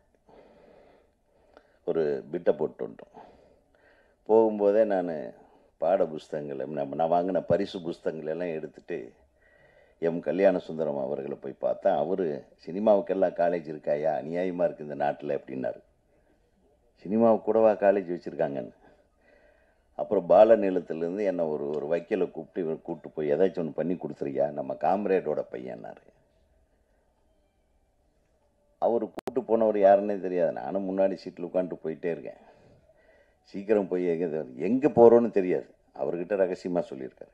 பார்த்தா ஃபஸ்ட்டே கோட்டைக்கு கூப்பிட்டு போய்டு அன்றைக்கி தான் முதல்ல மெட்ராஸ்க்கு நான் வந்தேன். வந்து ரெண்டு மூணு மணி நேரத்தில் கோட்டைக்கு போகிறேன் போன உடனே இவர் என்னங்க இங்கே இது என்னங்க இது? இதான் தமிழ்நாடு அரசோட கோட்டை கோட்டைன்னு சொல்லுவாங்க அப்படி. சரி இதுக்கு எங்கே கூப்பிட்டு போகிறேன்னு அவர் ரொம்ப பெரிய ஆளுன்னு அவரே வண்டி ஓட்டிகிட்டு போகிறாரு இங்கே கம்யூனிஸ்ட்காரங்கெல்லாம் அது ஒரு மாதிரி ஃபியட்டில் முன்னாடி திறக்கிற மாதிரி ஒரு டோரு. நேராக உள்ளே கூப்பிட்டு போனார். அப்படியே பின்னாடி போயிட்டே இருந்தேன். ரெண்டு பக்கம் ரெண்டு கையிலையும் மஞ்சப்பையில் சொல்லுவாங்க நான் கோயம்புத்தூர்காரன். மஞ்சப்பையில் தான் கொண்டு வந்தேன். நிறைய புஸ்தகம் அங்கங்கே சின்ன சின்ன கப்பு. ஏன்னா நான் பரிசு வாங்கினது. கல்லூரி வாழ்க்கை வரையிலும் பள்ளிக்கூடத்துலேருந்து கல் பள்ளிக்கூடத்துலேயே கவிதை எழுதி பரிசு வாங்கினேன். அடி வாங்கினது வேறு. அதுக்கப்புறம் பரிசெல்லாம் வாங்கினேன்.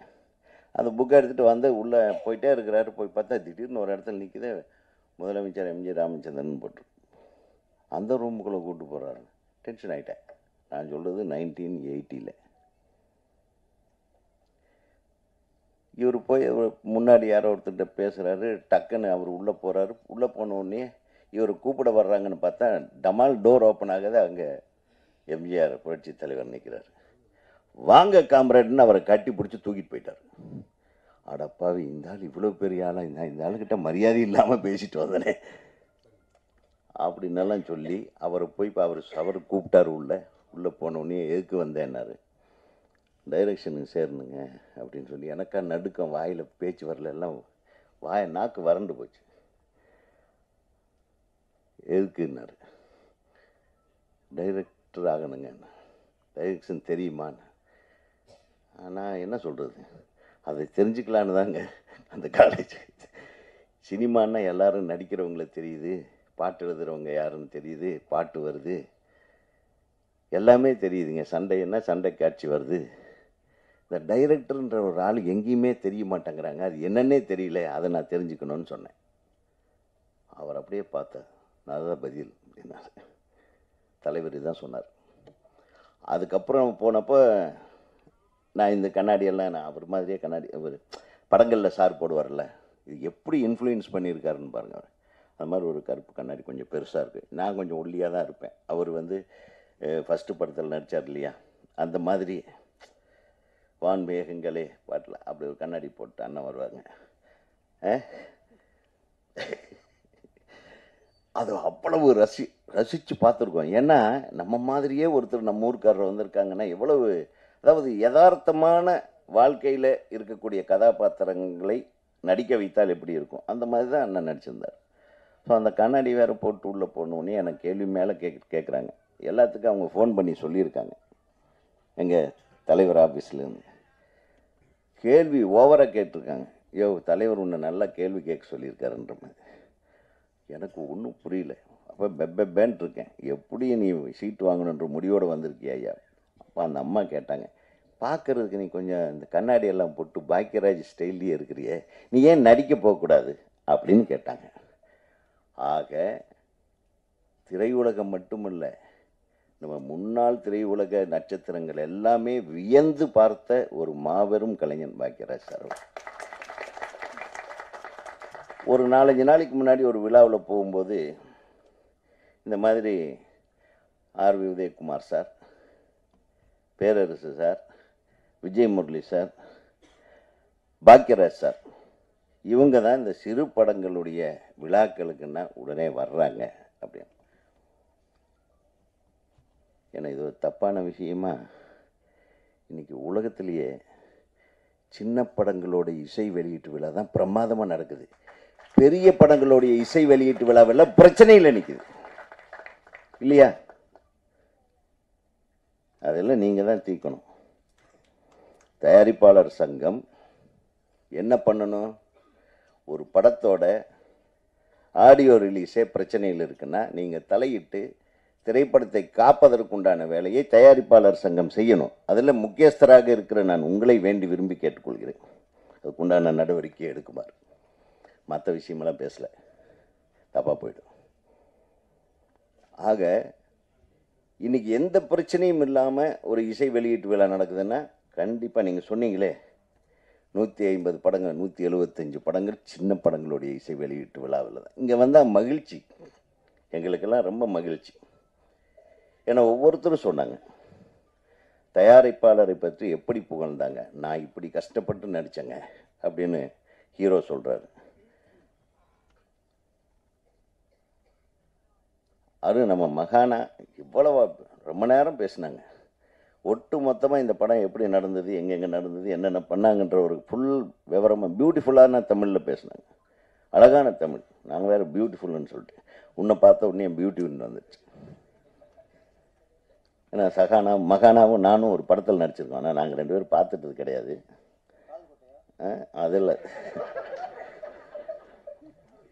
நீங்கள் இன்னும் சரியாக படம் பார்க்கலன்னு நினைக்கிறேன். அந்த படத்தை பார்த்தீங்க ஆனால் மறந்துட்டீங்க. அண்ணன் கரெக்டாக சொன்னாங்க.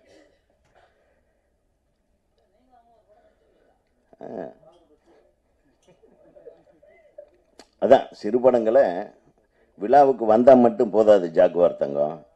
போய் பார்க்கணும். இந்த விழாவுக்கு வர்றவங்க பார்த்தாவே யார் யார் என்னென்ன பண்ணியிருக்காங்கன்னு தெரியும். நீ வந்து சிறுபட தயாரிப்பாளர்களுக்கான ஒரு சங்கத்தை வேற வச்சிருக்கீங்க.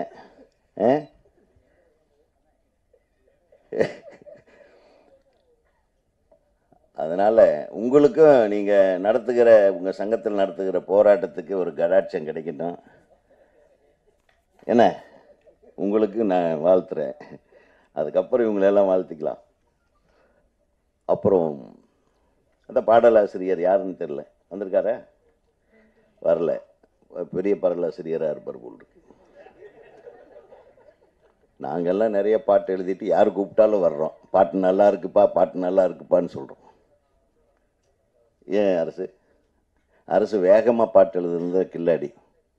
அவர் படம் மாதிரியே. அவர் படம் எடுத்தமா கவுத்தமான்னு டப்ப டப்ப டப்ப டப்பன்னு போயிட்டே இருக்கும். திரும்பி பார்க்குறதுக்குள்ளே அடுத்த சீனை பற்றி கவலையே பட மாட்டான். அடுத்தவனும் கவலைப்பட மாட்டான். படத்தை கிளைமேக்ஸ் கொண்டு போய் நிறுத்திடுவார். அப்புறம் டக்குன்னு அங்கேருந்து ஆட்டோவில் ஸ்லோ மோஷனில் இறங்குவார் இவரே. அது அஜித் நடித்தாலும் சரி விஜய் நடித்தாலும் சரி நான் நடிக்கிறது ஒரு சீன் இருக்குமுடா படத்தில் இந்த தைரியம் வேணுங்க. டைரக்டர்னு அப்படி இருக்கணும். இந்த நம்ம தம்பி பட்டுக்கோட்டை சிவா. பட்டுக்கோட்டைனாலே ஒரு பெரிய மரியாதைக்கு உண்டான ஊருங்க. எங்கள் கல்யாண சுந்தரையா பட்டுக்கோட்டையார் இருந்த ஊர் அந்த ஊர் தான் எங்கள் அண்ணியாரோட ஊர். எங்கள் அண்ணன் பொண்ணு எடுத்தது அங்கே தான் அதனால தான் சொன்னேன் பட்டுக்கோட்டைன்னு உடனே எனக்கு ஒரு பயங்கர சந்தோஷம் வந்துருச்சு. பட்டுக்கோட்டைன்னு வச்சாவே அதில் ஒரு வீரம் வரும் ஒரு நேர்மை வரும் ஒரு நியாயம் வரும் ஒரு தர்மம் இருக்கும். அதெல்லாம் இந்த படத்தில் தம்பி கொண்டாந்துருக்காருன்ற மாதிரி சொன்னதே எனக்கு ரொம்ப சந்தோஷமாக இருக்குது படத்தை நான் முழுசாக பார்த்தா தான் சொல்ல முடியும். ஆனால் அதில் எங்கள் அண்ணனுக்கு ஒரு வாய்ப்பு கொடுத்து அவர் ஒரு முக்கியமான கதாபாத்திரத்தை நடிக்க வச்சு நான் கேட்டேன். ஒரு நாள் தான் உதவி நடித்தேன்னார் அது அண்ணனே வந்து நடிச்சிருக்காருன்னா டெஃபினட்டாக இந்த படத்தில் ஏதோ ஒரு மேட்ரு இருக்குது இல்லைன்னா ஒரு நாளில் போய் நடிச்சிட்டு வர்ற ஆள் இல்லை எங்கள் அண்ணன். கண்டிப்பாக இதில் ஏதோ ஒரு முக்கியமான விஷயம் இருக்குன்னு தெரியுது.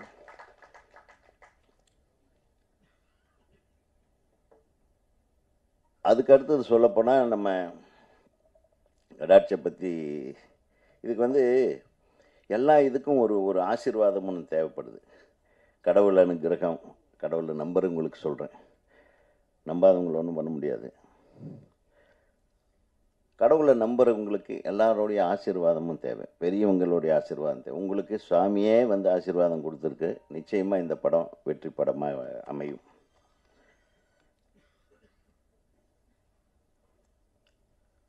எனக்கு ஒரு பெரிய குறை இந்த மேடையில். ஹீரோயின் வந்திருக்காங்கன்னு நமக்கு தெரிஞ்ச பொண்ணு. ஓகே சந்தோஷம். மேடம் ப்ரொடியூசர் உண் உண்மைன்னு பார்த்து அவங்கள நான் ஹீரோயின் தான் நினச்சிட்டேன். நானும். ஆனால் இப்படி ஒரு தைரியமான ஒரு தயாரிப்பாளரை நம்ம பார்க்குறது கஷ்டம். ஏன்னா ஒரு திரைப்படத்தை எடுக்கிறதுக்கு நம்மளை வச்சு எடுத்த பெரிய பெரிய கம்பெனிக்கிட்ட இப்போ நான் போய் கேட்டாலே பயப்படுறாங்க. ஏன் நம்ம அவ்வளவு குடும்பம் படிச்சிருக்கணும் நான் இல்லை. இப்போ படம் எடுத்து எப்படியா நம்மளுக்கு வேண்டாம்ப்பா ஆளை விடுன்றாங்க. ஏவிஎம் சரவணன் சார் படம் பண்ணலை. யாரும் வீரப்பன் சார் படம் பண்ணல. இந்த மாதிரி நிறைய கம்பெனியை சொல்லிகிட்டே போகலாம் கவிதாலயம் எடுக்கல. ஆனால் தைரியமாக வந்து வாங்க தம்பிங்களா you too we will back யூன்னு சொல்லிட்டு கடைசி வரையிலும் காலங்காத்தால் ஆறு மணிக்கு எந்திரிச்சு ஷூட்டிங் நடத்துறதுக்கு எல்லாத்தையும் எழுப்பி விடுற தயாரிப்பாளரை பார்த்துருக்கீங்கன்னா that's that's great that's great இந்த மாதிரி நிறைய தயாரிப்பாளர்கள் சின்ன தயாரிப்பாளர்கள் தான் தலைவரை வர்றாங்க.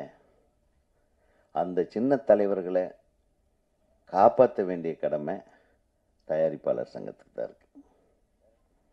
நான் உங்கள் டைரக்டர் யூனியன் கிடையாது. அவர் நம்ம நல்லா டைரக்ட் பண்ணிட்டாரு. இதை வெளியே கொண்டு போய் சேர்க்குற வேலையை நீங்கள் பார்க்க மாட்டேன்றீங்க. தேட்டர் வாங்கி தர மாட்டேன்றீங்க. ஏதோ கவர்மெண்ட்லேயும் டிஸ்ட்ரிபியூட்டர்கிட்டையும் பேசி தேட்டர் ஓனர்ஸ்கிட்டையும் பேசி ஒரு மாதத்துக்கு ஒரு பதினஞ்சு நாள் சின்ன படங்கள் மட்டும்தான் ரிலீஸ் பண்ணணும்னு தியேட்டரில் ஒரு ஒரு அண்டர்ஸ்டாண்டிங் போட்டு கொடுங்க. இரநூத்தம்பது படம் எடுக்கிறாங்க. அதில் இரநூத்தி இருபத்தஞ்சி படம் சின்ன படம்ன்றீங்கள அந்த சின்ன படம் எடுக்கிறதுனால தான் சினிமாக்காரன் வாழ்க்கை வாழ்ந்துட்டுருக்கிறான்னு சொல்கிறீங்கள அப்புறம் அந்த தயாரிப்பாளரை வாழ வைக்க போகிறது யார்? ரசிகர்கள் எப்படி? தியேட்டரில் வந்து படம் வந்தால் தானே ரசிகர் வந்து பார்ப்பேன். இந்த மாதிரி வர்றம்போது நாங்கள் மேடையில் உட்காரும்போது எங்களுக்கெல்லாம் பீட்டை போட்டு இப்போ நாங்கள் கேட்குற கேள்விக்கு பதில் சொல்ல முடியாமல் தவிக்கக்கூடிய தயாரிப்பாளர் சங்கங்க உறுப்பினர்களே. நீங்கள் ஒரு விடை இதற்கு சரியாக அடுத்த ஒரு ஆடியோ ரிலீஸில் நீங்கள் சொல்லணும். என்ன சொல்கிறீங்க கரெக்டா? எவ்வளவு அழகா எவ்வளவு சி நம்ம போட்ட காசு வருமா வராதன்றதல்ல. கலையை நேசிக்கிறாங்க. கலைஞர்களை ஊக்குவிக்கிறாங்க. இந்த படத்துக்கு எல்லாருமே சொல்கிறாங்க மெயினாக சொன்னது காசு கரெக்டாக கொடுக்குறாங்க. எவங்க கொடுக்குறான் இப்போ காசு? கரெக்டா? காசு கரெக்டாக கொடுக்குற தயாரிப்பாளருக்கு நீங்கள் காசு கரெக்டாக திருப்பி வர்றதுக்கு உண்டான வழியை தயாரிப்பாளர் சங்கம் அது அந்த சங்கத்தில் நானும் தான் இருந்தேன். பட் இருந்தாலும் அப்புறம் நம்ம இப்போ இல்லாமல் இருக்க முடியாமல் பண்ணிட்டாங்கன்னு வைங்க. என்னையும் பாக்கியராஜ் அண்ணன் இப்போ போனால் சேர்த்துக்க மாட்டாங்க. ஏன்னா நாங்கள் வேற ஒரு சங்கத்தில் இருக்கிறோம்ன்றவாங்க. இந்த மாதிரிலாம் காமெடி கிமெடி பண்ணிட்டு இருக்காதீங்க. இன்னும் நிறைய கேள்விகள் இருக்குது அதனால் தயாரிப்பாளர் சங்கம் பொறுப்பெடுத்து அனைத்து சின்ன பட்ஜெட் படங்களையும் ரிலீஸ் பண்ணுறதுக்கு உண்டான வேலையை பாருங்கள் அதுதான் உண்மை. அதுதான் நம்ம வந்து இங்கே வந்து வாழ்த்துறதுக்கு நம்ம கொடுக்குற மரியாதை. நான் உங்களை சொல்லவில்லை. பொதுவாக சொல்கிறேன் என்னுடைய கருத்தை. அதே மாதிரி திரை உலகம் சுதந்திரமாக இருக்கணும்.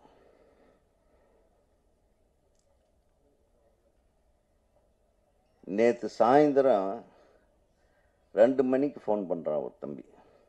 சார் ஒரு நாலு மணிக்கு ஒரு ஆடியோ ரிலீஸ் இருக்குண்ணே முந்தா நேற்று எங்கே? எங்கே அவர்? என்ன பாக்கியராஜ் சார்?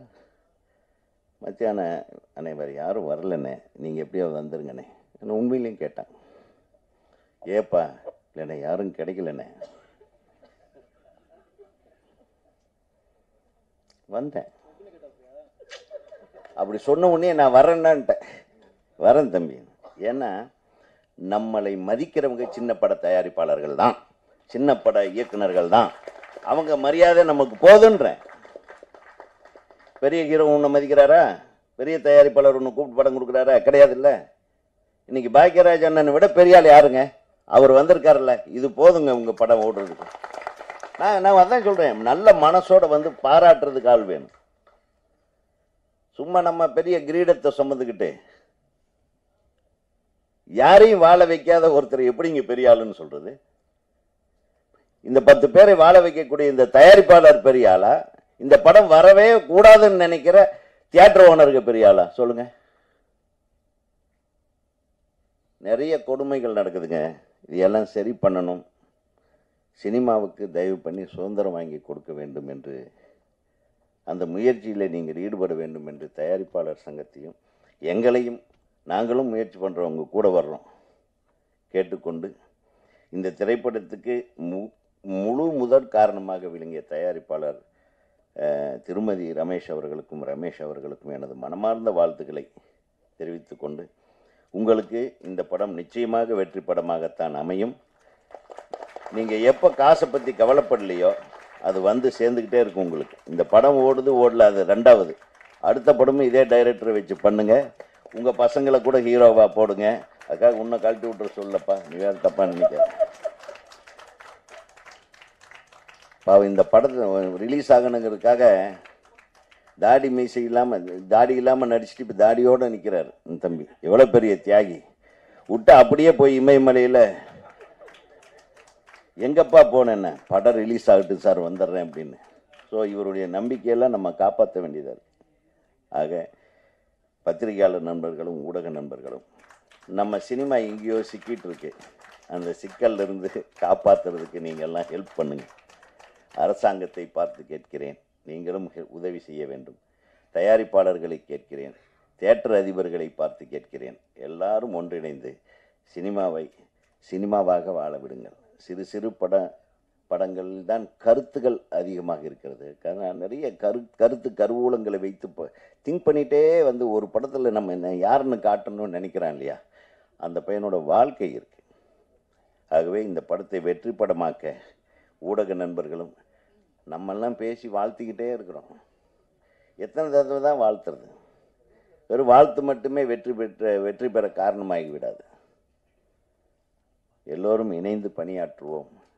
எல்லா திரைப்படங்களும் வெற்றியடைய நாம் வழிவகை செய்வோம் என்று கூறி இத்திரைப்படத்தை குறிப்பாக மக்களிடம் கொண்டு போய் நன்றாக சேருங்கள் என்று கூறி நன்றி கூறி விடைபெறுகிறேன். வணக்கம்.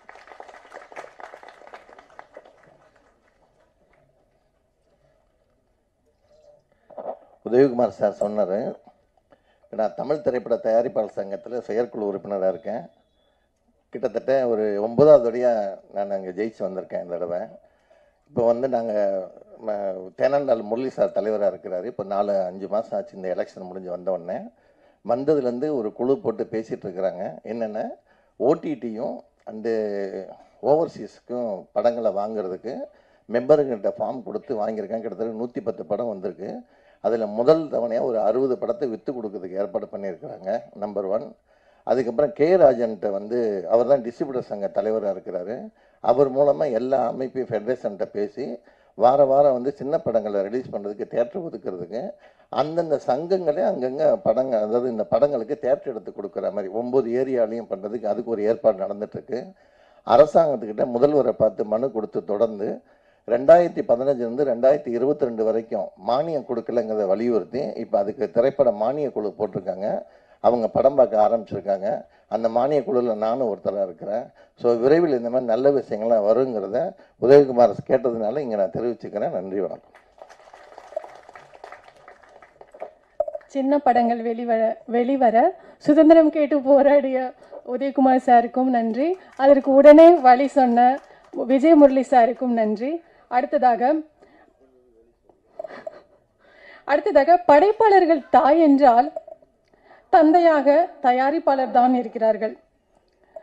தாயையும் சேயையும் காக்கும் தயாரிப்பாளரான திரு ரமேஷ் கடாட்சம் படத்தின் தயாரிப்பாளர் ரமேஷ் அவர்கள் சில வார்த்தைகள் பேசுவார்கள்.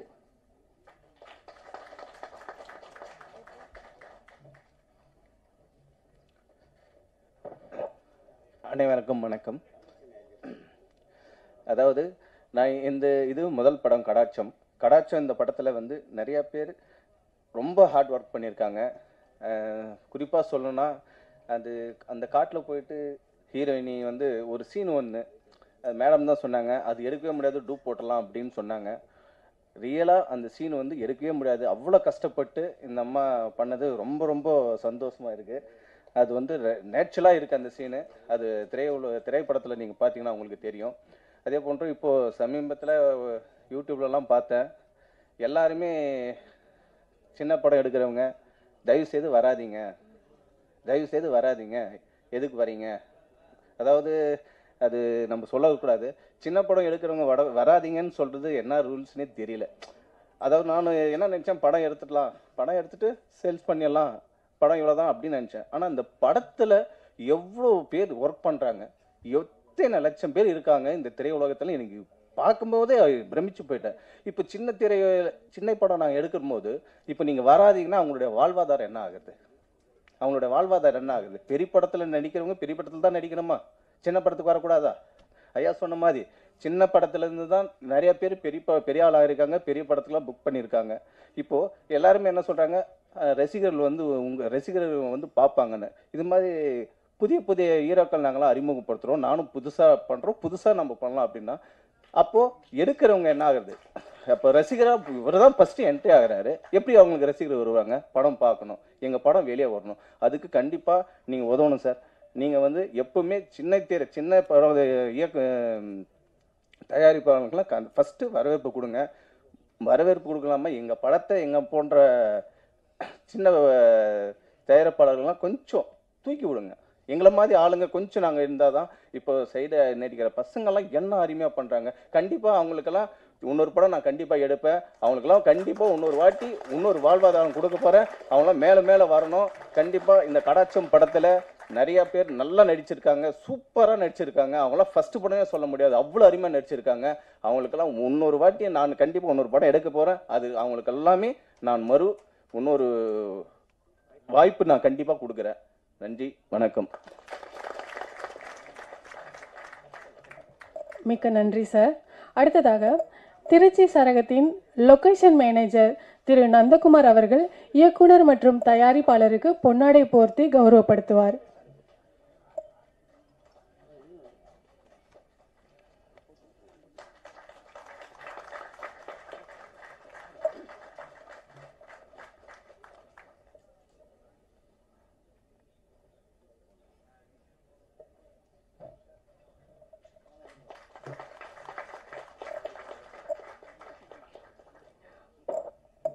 நாட்டரசன் கோட்டையில் பிறந்த இவர் கொஞ்சம் வித்தியாசமானவர். திருப்பாச்சி அருவாளையும் சிவகாசி பட்டாசையும் திருப்பதி லட்டையும் பழனி பஞ்சாமிர்தத்தையும் திருவண்ணாமலை கிரிவலத்தையும் தருமபுரி ஒக்கனைக்கல் அருவியையும் அருவியையும் வெள்ளித்திரையில் அதிரடியாய் ஓடச் செய்தவர். நம் பாரதத்திற்கு எதிரானவர்களுக்கும் தமிழ் மண்ணின் பண்பாட்டிற்காகவும் தன் முதல் குரலை ஓங்கி ஒலிக்கச் செய்பவர். தமிழ்நாடு திரைப்பட இயக்குனர் சங்க பொருளாளராய் இயங்கி வரும் இயக்குனர் திரு. பேரரசு அவர்களை அன்புடன் வாழ்த்த கேட்டுக்கொள்கிறோம்.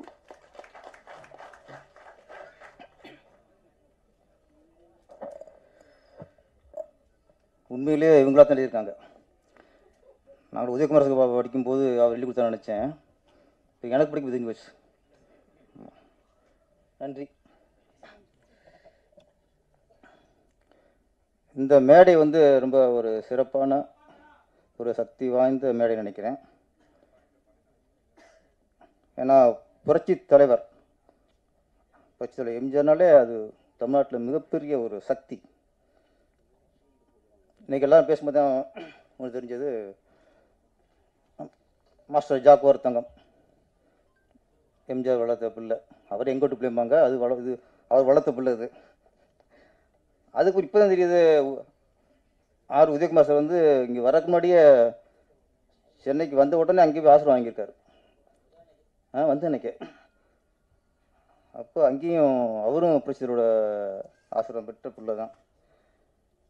அதெல்லாம் விட புரட்சி தலைவரே என் கலை உலக வாரிஸ் அப்படின்னு சொன்னவர் புரட்சி பாக்கியராஜ் அவர்கள்.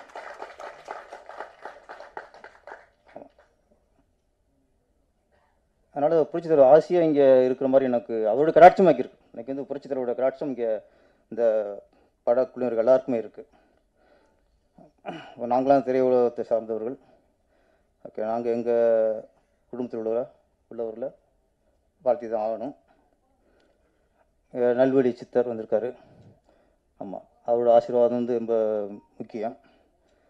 அவரோட ஆசீர்வாதம் இங்கே இயக்குனருக்கும் தயாரிப்பாளருக்கும் இருக்குது அப்புறம் இங்கே இப்படி சொல்லும்போது நம்ம விஜயமுரளி சாரை கூப்பிடும்போது முரளிகிருஷ்ணான்டாப்பில் என்னடா முரளிகிருஷ்ணா பிஆர்ஓ கூப்பிட்றாங்களே அப்படின்னு பார்த்தா அப்புறம் அவங்க விவரம் சொல்லியிருக்காங்க. விஜயம் பெருனா இல்லை விஜய் இருக்குல்ல. விஜய் நாங்கள் ஆடியோ ஃபங்க்ஷன் ஏதாவது பிரச்சனை ஆயிருமோ? அதனால் விஜயங்கிற பேச்சு எடுக்க வேணாம் இப்போது ஆடியன்ஸ் நல்லா நடக்கட்டும் தான் உங்கள் பேரை மாற்றிருக்காங்க சார். ஆமாம் தற்போதைக்கு தான். நாளிலேருந்து லீ ரிலீஸுக்கு அப்புறம் நீங்கள் விஜய் முரளி தான். அது வரைக்கும் நீங்கள் முரளிகிருஷ்ணா தான். இயக்குனர் பட்டுக்கோட்டை சிவா. பட்டுக்கோட்டைனாலே சினிமாவுக்கும் பட்டுக்கோட்டைக்கு ரொம்ப ராசி. பட்டுக்கோட்டை கல்யாண சுந்தரம் அப்புறம் ரைட்ரு பட்டுக்கோட்டை பிரபாகர் பட்டுக்கோட்டை சிவா. ஆமாம் ஹலோ கோ- ஆ? பட்டுக்கோட்டை டைகர் சிவாவா இதுக்கு தான் சத்தியமங்கலத்துக்கு சுட்டி வைக்கலாங்கிறது அங்கே அங்கே வச்சா அப்போ நம்ம அதுக்கு அது அடுத்த கதை. அடுத்த படம் எடுத்துருங்க நீங்கள் பட்டுக்கோட்டை சிவா ஆனால் அவர் கொஞ்சம் விவரமானவர். அடுத்த படமும் இந்த படம்லேயே பண்ண போகிறார் தெரிஞ்சு வச்சு எனக்கு. ஏன்னா என்னைக்கு ஹீ- தயாரிப்பாளர் ஹீரோனி இருக்காங்க. எல்லாரும் அங்கே போய் ஆட்டோகிராஃப் வாங்கினாங்க ஃபோட்டோ எடுத்தாங்க அப்படிங்கும்போது இப்போ பிட்டு போட்டார். இப்போலாம் டேரக்டருக்கு கதையெல்லாம் சொல்ல தேவையில்லை. பிட்டு போட தெரியணும். எப்படி தயாரிப்புல கவர் பண்ணணும் எப்படி ஹீரோக்குள்ளே கவர் பண்ணணும் இந்த வித்தியாசம் தெரிஞ்சால் தான் தொடர்ந்து படம் பண்ண முடியும் தவிர வெறும் திறமை வச்செல்லாம் படம் பண்ண முடியாது இப்போ. பேர் சும்மா உட்கார முடியுதான் அதனால் அடுத்த படமும் இதே பேனரில் பட்டுக்கோட்டை சிவா நம்ம டைக்கர் சிவா அது இயக்க போகிறாரு அட்வான்ஸ் வரதுக்கு அதுக்கு. ஆமாம் அந்த படத்து ஆடியோ லிஸ்ட் இதே மாதிரி பேசிடுங்க அவர் ரமேஷ் சார் வந்து ஹீரோ போயிட்டு சொல்லி எடுத்தாங்க சொல்லிடுங்க மூணாவது ஒன்று கிடைக்கும். கடாட்சம். ஒரு நல்ல வார்த்தை. கடாட்சம்னாலே அது சொல்லும்போதே ஒரு அதில் ஒரு அதிர்வு இருக்கும். கடாட்சம். தெய்வ கடாட்சம் லட்சுமி கடாட்சம் குரு கடாட்சம். கடாட்சம் நிறைய வார்த்தை நிறையா இருக்கும் கடாட்சத்துலேயே இல்லாமல் மனுஷனுக்கு ரொம்ப முக்கியமானது லட்சுமி கடாட்சம். நீங்கள் லட்சுமி வேற நினச்சிடாதீங்க இப்போ லட்சுமி சொல்லிக்க இப்போ பயமாக இருக்குது லட்சுமியோட பயங்கர பிரச்சனையாக இருக்குது நான் தான் லட்சுமி சொல்லி யாராவது லட்சுமி போய் என் புருஷன் வந்து குஸ்தி போடுஞ்சுன்னா அதுக்கு அவன் அதுக்கு நம்ம லாய்க்கு இல்லை நம்ம நான் சொல்கிற லட்சுமி வேற நீங்கள் வேற நடிச்சிடாதீங்க இப்போ லட்சுமி பயமாக இருக்கு இப்போ. லட்சுமி கடாட்சம். ஆமாம் அதுதான் அதான் தனலட்சுமி வச்சுங்களேன் எதுக்கு? அஷ்டலட்சுமியில் தனலட்சுமி. அவங்க தான் நம்மளுக்கு எழுதி கொடுக்குறவங்க. அது சிலர்கிட்ட போய் அது தஞ்சம் அடைஞ்சிரும். சிலருக்கு அந்த கடாட்சம் இருக்கும். அவங்க தொட்டதெல்லாம் தொ- எதை தொட்டாலும் வெற்றியாகும் இவங்க விரும்பட்டாலும் காசு வந்து அவங்களுக்கு கொட்டிகிட்டே இருக்கும். அப்படி சிலர் இருக்காங்க. அசால்ட்டாக சம்பாதிப்பாங்க. சிலர் கட்டின உழைப்பு போராடி திட்டம் போட்டு விளம்பரம் பண்ணுறத விட சில ஈஸியாக வந்து உழைச்சாங்க ஏன்னா பார்த்தா அவங்களுக்கு லட்சுமி கிராட்சியும் இருக்கும். திரையுலகில் நாம் பார்த்து லட்சுமி கிராட்சியம் இருந்த ஒருத்தர் யாருன்னா என்னோட குருநாதர் இயக்குனர் ராம நாராயணன் சார்.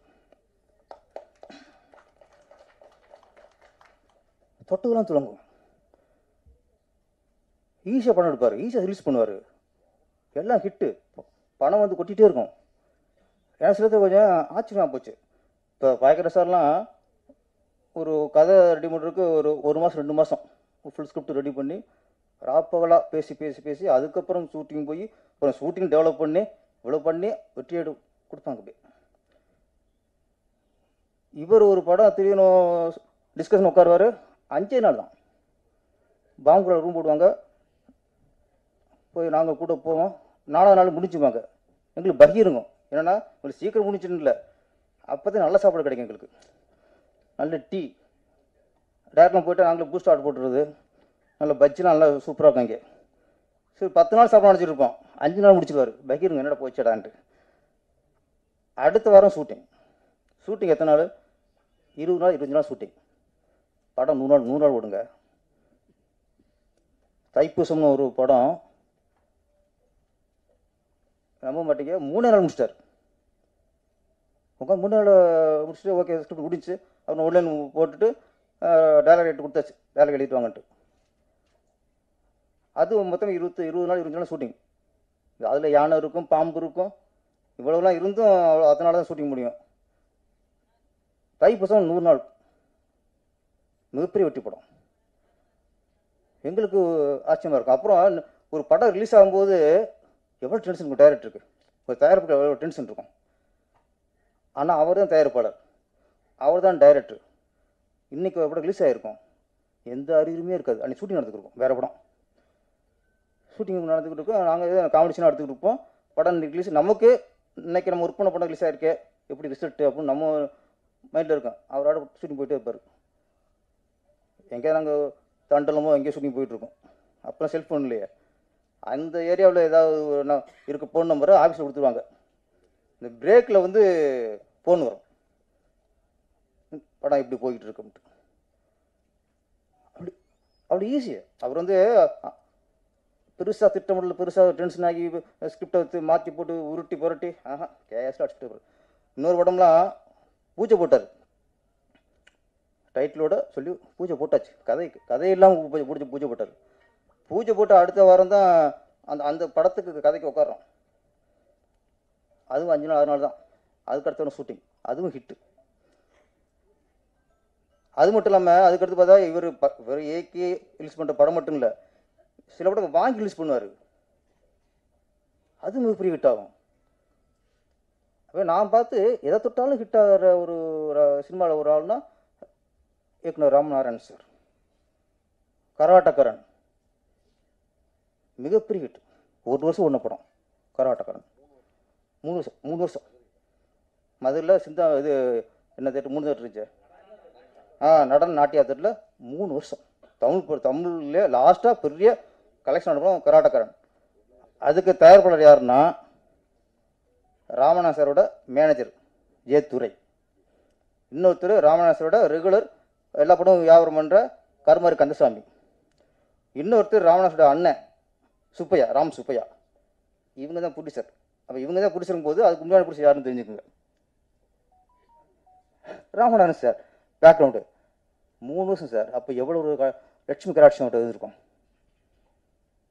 அது இந்த கடாட்சம் போது சினிமா இருந்தாலும் சில மேலே அந்த இது படணும். அதுக்கடுத்து நான் பார்த்தது அப்படின்னா ஆர்பி சௌத்ரி சார். உட்காந்த இடத்துல ஈஸ்ட் அடிச்சு போயிட்டு இருப்பார். இங்கே ஒரு படம் ரிலீஸ் ஆகும் பெரிய ஹிட் ஆகும். அதை அதை ரீமேக் கொடுப்பாரு இங்கே. ரீமேக் கொடுத்து அங்கே பார்ட்னர் ஆயிடுவார். அங்கேயும் பெரிய ஹிட்டு பெரிய பெரிய கலெக்ஷன் இங்கே நியூஸ் வரும். இத்தனை கூடி அத்தனை கூடி வரும். என்னடா அது? சில தயாரிப்பெல்லாம் அங்கே அங்கே ஃபைனான்ஸ் வாங்கி ஃபைனான்ஸ் ஃபைனான்ஸ் வாங்கி ரிலீஸுக்கு அவ்வளோ டென்ஷன் பண்ணி இவர் அழகாக அப்படியே உட்காந்துட்டு அந்த மியூசியம் மட்டும் அப்படி பிடிங்க தரவிட்டே இருப்பார். அது லட்சுமி கடாட்சங்கிறது சிலருக்கு அது அமைஞ்சிரும். அமைஞ்சிரும். அப்புறம் லட்சுமி கடாட்சியமும் இந்த சரஸ்வதி கடாட்சியமும் அதை பற்றி யாரும் பேச மாட்டோம். அது நீ ஓரம் கட்டிடுவோம் சினிமாக்காரங்க அதைத்தான் சொல்லணும். எனக்கு சரஸ்வதி கடாட்சியம் யாருன்னா பாக்கியராஜ் சார். அவர்கிட்ட முழுசாக அங்கே குடி விட்டுருச்சு கதை எப்படி திரைக்கதை எப்படி வசனம் எப்படி சென்டிமெண்ட் எப்படி எதை எந்த அளவில் கொண்டு வரணும். ஒட்டுமொத்த மக்களையும் கவர்ற மாதிரி எப்படி படம் எடுக்கிறது? சும்மா ஒரு இது ஆம்பளைக்கு பிடிச்ச படம் இது பொம்பளைக்கு பிடிச்ச படம் இது இப்போ பசங்களுக்கு பிடிச்ச படம். ஒட்டுமொத்த ஃபேமிலிக்கு பிடிச்ச யார் எடுக்கிறா? அவள் தான் உண்மையான டைரக்டர் அவள் திறமையான டைரக்டர் எங்கள் பாக்கிரா சார் நான் படிக்கிற காலத்தில் நண்பர்களோட படம் பார்ப்போம். சூழல் முடிச்சு பார்த்துருக்கோம். முந்தா முடிச்சு பார்த்துருக்கோம். டார்லிங் டார்லிங் பார்த்துருக்கோம். என்னென்னா அப்போ வேந்து பார்த்தோம். பெருசாக அவ மேலே ஒரு பெரிய மரியாதை இருந்துச்சு. நல்லா இருந்துச்சு. இப்போது அதோட நூறு மடங்கு எனக்கு அவ- அவங்களுக்கு வேப்பு வருது. அப்படி இப்போ நூறு மடங்கு வரும் அவங்களுக்கு மரியாதை வருது. ஏன்னா நாங்கள் ஒரு படம் பார்த்துட்டப்போ அந்த படத்தை பற்றியே ஒரு வாரம் பேசுவோம். இந்த சீன் இதுக்காக பண்ணியிருக்காரு. ஓ இதுக்காக இந்த சீன் அங்கேயே வச்சுருக்கிறாரு. எங்கள் நண்பருக்குள்ளே எங்களுக்கு விவாதமே ஒரு வாரம் போகும் ஒரு படத்தை பார்த்துட்டு. ஏன்னா அன்றைக்கி கதை இருந்துச்சு. அதில் திறக்கதை இருந்துச்சு இன்றைக்கி படம் பார்த்துட்டு வந்தால் என்னத்தை பேசுகிறேன்னு தெரியல உங்களுக்கு. எப்படி சுட்டாங்கன்னு தெரியல எத்தனை எத்தனை எத்தனை பேர் சுட்டான்? ஆ? அது அதெல்லாம் படம் பார்க்கும்போது இன்னைக்கு பாக்கியரசன் நினைக்கும்போது இப்போ அவ்வளோ பெரிய வியப்பாக இருக்குது அப்போ சரஸ்வதி கராட்சம் அங்கே அப்போ இருந்திருக்கு. இன்னைக்கு இருக்கு இன்னைக்கு. அந்த கர- உருவம் தான் இன்னைக்கு பாக்கிற சார் நம்ம உதயகுமார் சார் நேராக ஒரு இன்றைக்கி இன்னைக்கு வந்ததுக்கப்புறம் இங்கே ஷூட்டிங் வந்திருக்கார் ஸ்ட்ரீட்டாக மேக்கப்போட இருக்காங்க மேக்கப்போட எடுத்தது. மேக்கப்பை வந்து அதை க்ளீன் பண்ணுறதுக்கு டைம் இல்லாமல் அவளுக்கு பிஸியாக வந்துட்டார் இன்னைக்கு. நாலு படம் இன்னைக்கு கரண்டில் போயிட்டு இருக்கு. கால் ஷீட் கிடைக்கல. சங்கத்துக்கே வேறு கால் ஷீட் கிடைக்க மாட்டேங்குது. நாங்கள் ஈசி மீட்டிங் போட்டு ரெண்டு மாதம் ஆச்சு. சார் ஒரு டேட்டு கொடுங்க சார் இப்போ அப்போ தான் நான் நாளைக்கு ஷூட்டிங் போகிறேங்கிறாரு ஆ? ஆ, அவர் செயலாளர் அவர் சொல்கிற டேட்லாம் போட முடியும். முடியல. சார் கொஞ்சம் அந்த இந்த பிஸியில் கொஞ்சம் டைம் ஒதுக்குங்க. இல்லை இல்லை உண்மையில இல்லை சார் சீரியஸ் அஞ்சாறு படம் போயிட்டு இருக்கு நாங்கள் ஈசி விட்டு போட்டு ரெண்டு மாதம் ஆச்சு. உண்மை சொல்கிறேன் நான் ஃப்ராங்காக சொல்கிறேன் பிரச்சனை இருக்குல்ல எழுதிங்க தேட்டர் முடிக்கிறார் சங்கத்துக்கு நேரம் ஒதுக்காத செயலாளர் எழுதிங்க வேணாம். அப்புறம் அவர் இன்னொரு பாவப்பட்ட ஜென்மம் வேறு அவர். என்ன? இப்போ இந்த ஊரில் வந்து வெள்ளேன்னு பேர் வைப்பாங்க. கண்ணுங்கிறேன்னு இருப்பான். அப்புறம் ரொம்ப கஞ்சினா இருப்பான். ஒரு காசு எடுக்க மாட்டான். அவனுக்கு கர்ணன் பேர் வச்சுருப்பாங்க. இந்த மாதிரி அப்புறம் ரொம்ப கஷ்டப்படுவான். ஊரில் எல்லாரும் கடன் வாங்கிட்டு வாழ்ந்துருப்பான். அவனுக்கு ஒரு கோடீஸ்வரன் வைப்பாங்க. அதே மாதிரி உதயகுமார் சாருக்கு எப்படின்னா பேர் இல்லை. அவர் வச்சு டைட்டில் சின்ன கவுண்டும் வச்சிட்டார். அது ஒரு படத்துக்கு பேர். அந்த பேருக்கும் உள்ள ஜாதிக்கு இந்த சம்மந்தம் இருக்கா? அது ஒரு குடும்ப கதை. அது- ஒரு ஒரு கலாச்சாரம் முடிஞ்சிச்சு. சின்ன கவுண்டர்னு பேர் வச்சதுனால இவர் ஜாதி டேர்ன்ட்டாங்க இவர் ஜாதி வெறியறான் ஏன்னா சின்ன கவுண்டர் பேர் வச்சுட்டாரான் யோ கொடிசு பிரச்சனை கொடிசுனா ஏவன் வெள்ளையா பேர் வச்சு அவன் சிவப்பாக இருக்கான்? அப்போ கவுண்டரும் பேர் வச்சுட்டா என்ன அவர் இன்னும் ஜாதி வெறியரா எல்லாத்தையும் இவர் எழுக்கிறாங்க ஏன் அவர் வைக்கலையா? சிண்டை கொண்டு வைக்கலையா? தேவ நல்ல வேலை அவர் தேவர் மண்டர் பரதன் சார் நல்ல இல்லை. இல்லை தேவர் மண்ட இயக்குனர் ப- பரதன் ஜாதி வெறியன் இருப்பாங்க. அவர் தவிச்சு போயிட்டார். உண்மையிலே ஜாதியை வச்சு ஜாதி பொழப்பு இது மாதிரி பண்ணுறவங்கலாம் சமூக நீதின்றாங்க. இவர் பாவம் ஒரு டைட்டில் வச்சுருப்பாரு படா பாடுபடுறாரு பாவம். அவனு பேருக்கு அதுக்கும் சம்மந்தம் இல்லை. இன்றைக்கி ஜாதி அப்புறம் மொழி எல்லாமே இன்னைக்கு சினிமாவில் வந்து சீரழிச்சிக்கிட்டு இருக்கும் முதல்ல. நிறைய பேர் சொல்லும்போது இப்போ அந்த நீ காவிரி பிரச்சனை. இந்த படத்தோட இது வந்துன்னா இயற்கை வளங்களை காப்பாற்றணும் இயற்கையை காப்பாற்றணுங்கிறத அந்த கண்டக்ட் நினைக்கிறேன். ஓகே நம்ம இயற்கையை காப்பாற்றுறது இவ்வளவு பேசிக்கிட்டு இருக்கோம். நம்ம வந்து ஃபஸ்ட்டு விளைஞ்ச பயிரை காப்பாற்ற முடியலையே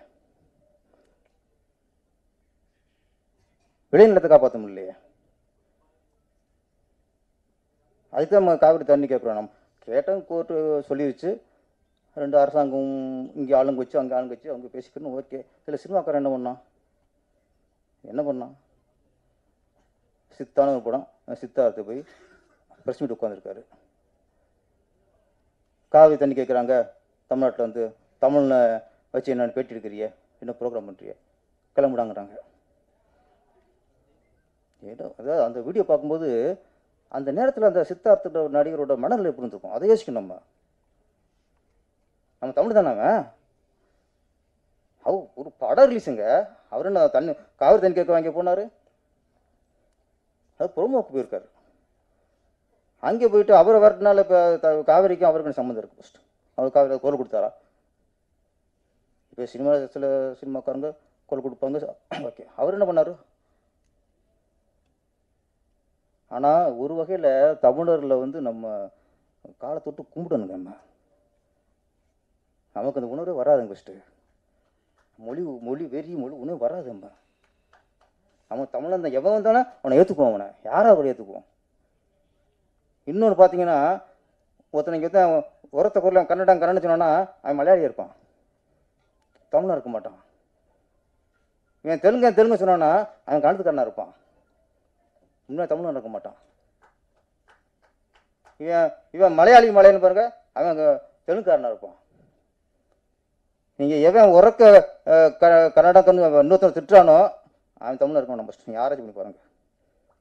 தமிழன் எல்லாத்தையும் ஒரு ஒரு நாளாக பார்ப்பான். சினிமாவில் வந்து நீங்கள் அரசியலுடைய சினிமாவில் வந்து கன்னடத்தை கன்னடக்காரனை தூக்கி கொண்டாடி இருக்கும்.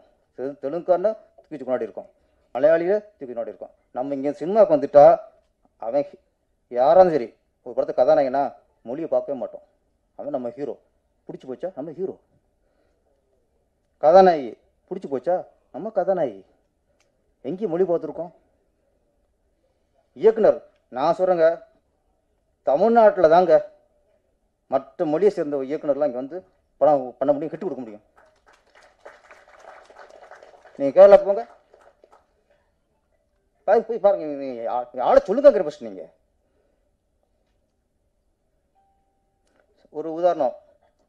நம்ம தமிழக தமிழர்கள் தான் வந்து இங்கே யாருக்கும் வந்து நான் மொழிக்கு எதிராக பேசலை.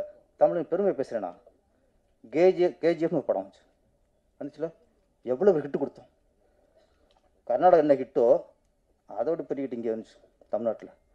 நம்ம தமிழர் என்ன சொன்னாங்க? தமிழர்கள்லாம் நம்ம ரசிகர்கள் என்ன சொல்கிறாங்க படத்தை பார்த்துட்டு கேஜிஎஃப் படம் வந்திருக்கு. தமிழ் இருக்குன்னா அந்த படத்தை பாருங்கிறான் நம்மளுக்கு கேள்விப்படுத்துறாங்க தமிழ் இயக்குனர் கேள்விப்படுத்துறான் கன்னட படத்தை பார்த்துட்டு. அப்புறம் அதில் நடிச்ச ஹீரோ ஹீரோ கொண்டாடுறாங்க. இங்கே நடிச்ச ஹீரோக்கள்லாம் மட்டம் தட்டுறாங்க. யார் பண்ணுறா தமிழர்கள். பண்ணிக்கல?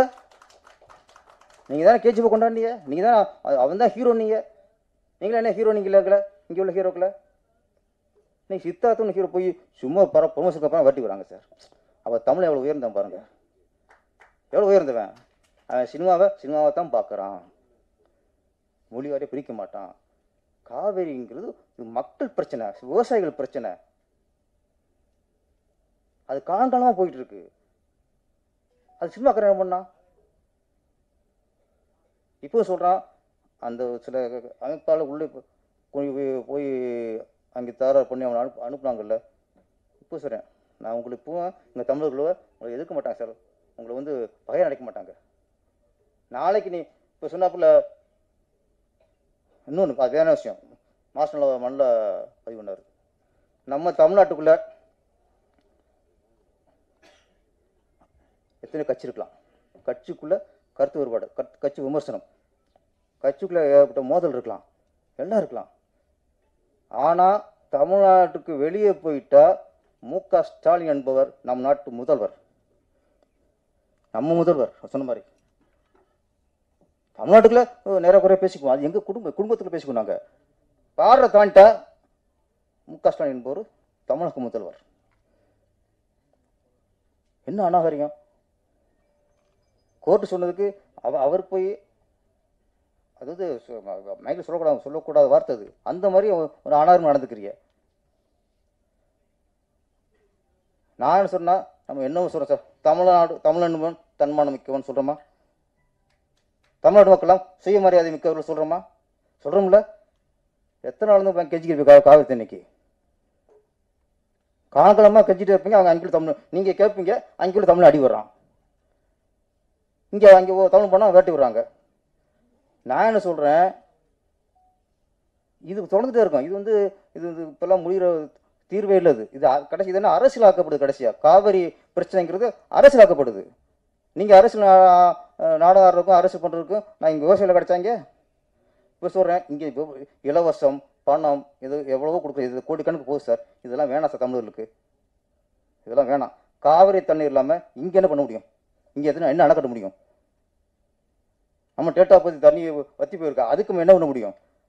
அதுக்கு எத்தனை கோடி செலவு அதுக்கான திட்டம் யோசிப்போம் தமிழர்களா இதுக்கப்புறம் அங்கே கையேந்து நிற்காம நம்ம நம்மளை நம்ம தண்ணியை பாதுகாப்போம் சார் இது அடுத்த ஆட்சி மாறும்.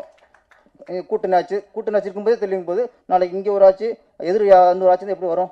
இது தீர்வே இல்லை ஃபஸ்ட்டு இது தீர்வு வரவே வராது. இது எம்ஜிஆர் காலத்துலேருந்து கலைஞர் காலத்துலேருந்து தொடர்ந்துட்டே இருக்குது இது இப்போ இப்போ இது போடுது. அவங்க அங்கே கொடுக்க மாட்டேன்னு சொன்னால் அவங்க அரசு பண்ணுறாங்க அங்கே. கொடுக்க மாட்டேன்னு சொன்னா தான் ஓட்டு போடுறாங்கிறக்க அவங்க கொடுக்க மாட்டேங்கிறாங்க. நம்ம ஏன் நம்ம நம்ம ஏமாந்துட்டு இருக்கோம் நம்ம. நான் சொல்கிறேன் எங்கள் முதல்வரை இதெல்லாம் நீங்கள் இந்த மாதிரி அசிங்கப்படுத்தும் போது எங்கள் நடிகர் இங்கே அசிங்கப்படுத்தும் போது ரஜினி சார் என்ன சொன்னார்? நீங்கள் குரல் கொடுக்குறாங்க இங்கே. அவரோட அமைதியாக இருக்கு. அவர் அரசியல் வேணாட்டு ஒதுக்கிட்டு படம் பண்ணிக்கிறாரு நீ குரல் கொடு. இல்லை உங்களுக்கு ரிலீஸ் ஆகுறாங்க அவருக்கு இதுக்கு என்ன சம்மந்தம் இருக்கு இப்போ? அது ஒரு முதல்வருக்கு ஒரு பா ஒரு பாட படைய படைய போகிறாங்க சார். எவ்வளோ தப்பு? அதனால் நம்ம தமிழை விழித்துக் கொள்வோம். நீங்கள் அவங்க நீ கெஞ்ச வேணாம். நம்ம தண்ணியை பாதுகாக்கிறதுக்கும் நம்ம தண்ணி நீருக்கு நீரை பெருக்கிறதுக்கும் நம்ம வழிவகுப்போம்.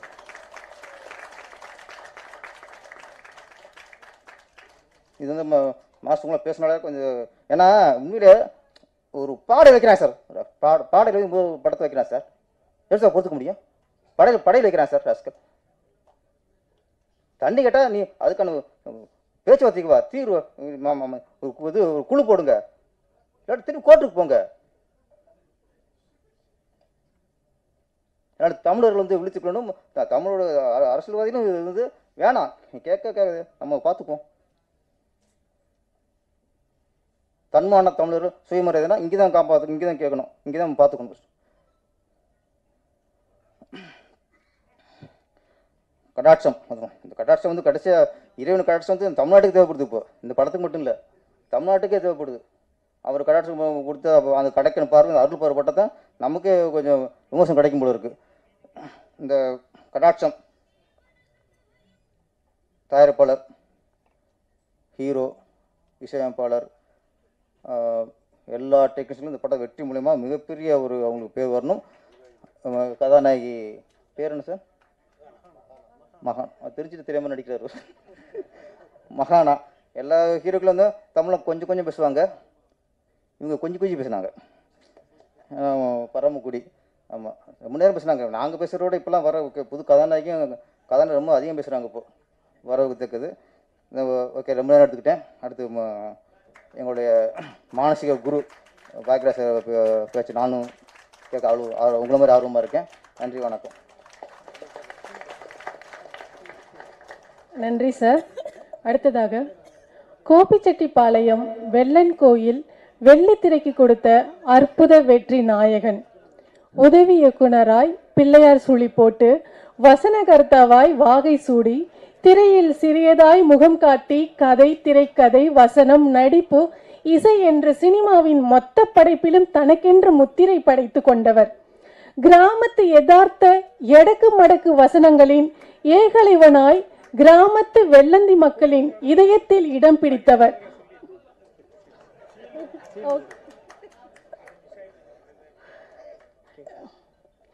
கே. சண்முகம் அவர்களுக்கு பாக்யராஜ் சார் அவர்களால் சீல்டு கொடுக்கப்படுகிறது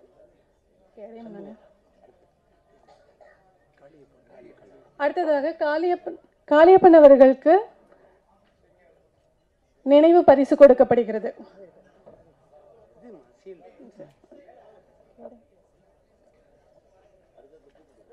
அடுத்து பேர் சொல்லுங்க காளியப்பன்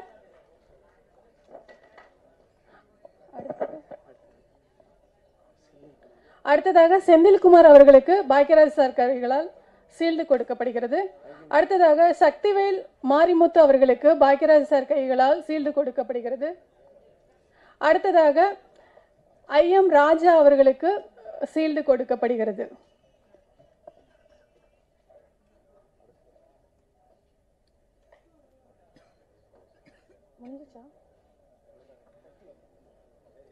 சார் அடுத்து இருக்கா?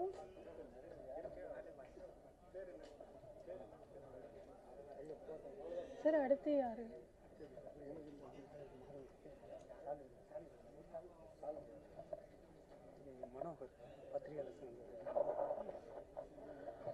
அடுத்ததாக பத்திரிகையாளர் சங்க துணை துணைத் தலைவர் மனோகர் அவர்களுக்கு சீல்டு கொடுக்கப்படுகிறது.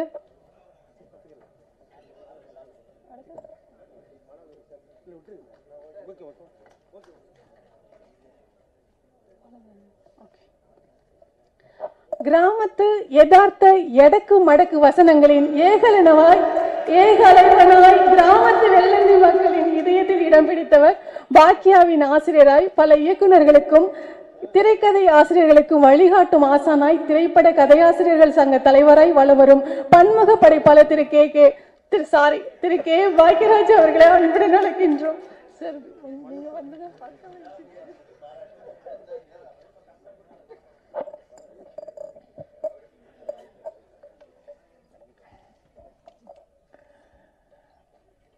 கராட்சம் திரைப்படத்தினுடைய இசை வெளியீட்டு விழாவுக்கு வந்திருக்கும் மரியாதைக்குரிய சக பத்திரிகையாளர்கள் ஊடக நண்பர்கள் எல்லாத்துக்குமே என்னுடைய பணிவான வணக்கத்தை தெரிவிச்சுக்கிறேன். பேரரசு அவர்கள் பேசும்போது கடாட்சத்தை பற்றி என்னென்ன இருக்குன்னு எல்லாம் சொல்லிட்டு வந்தார். அதில்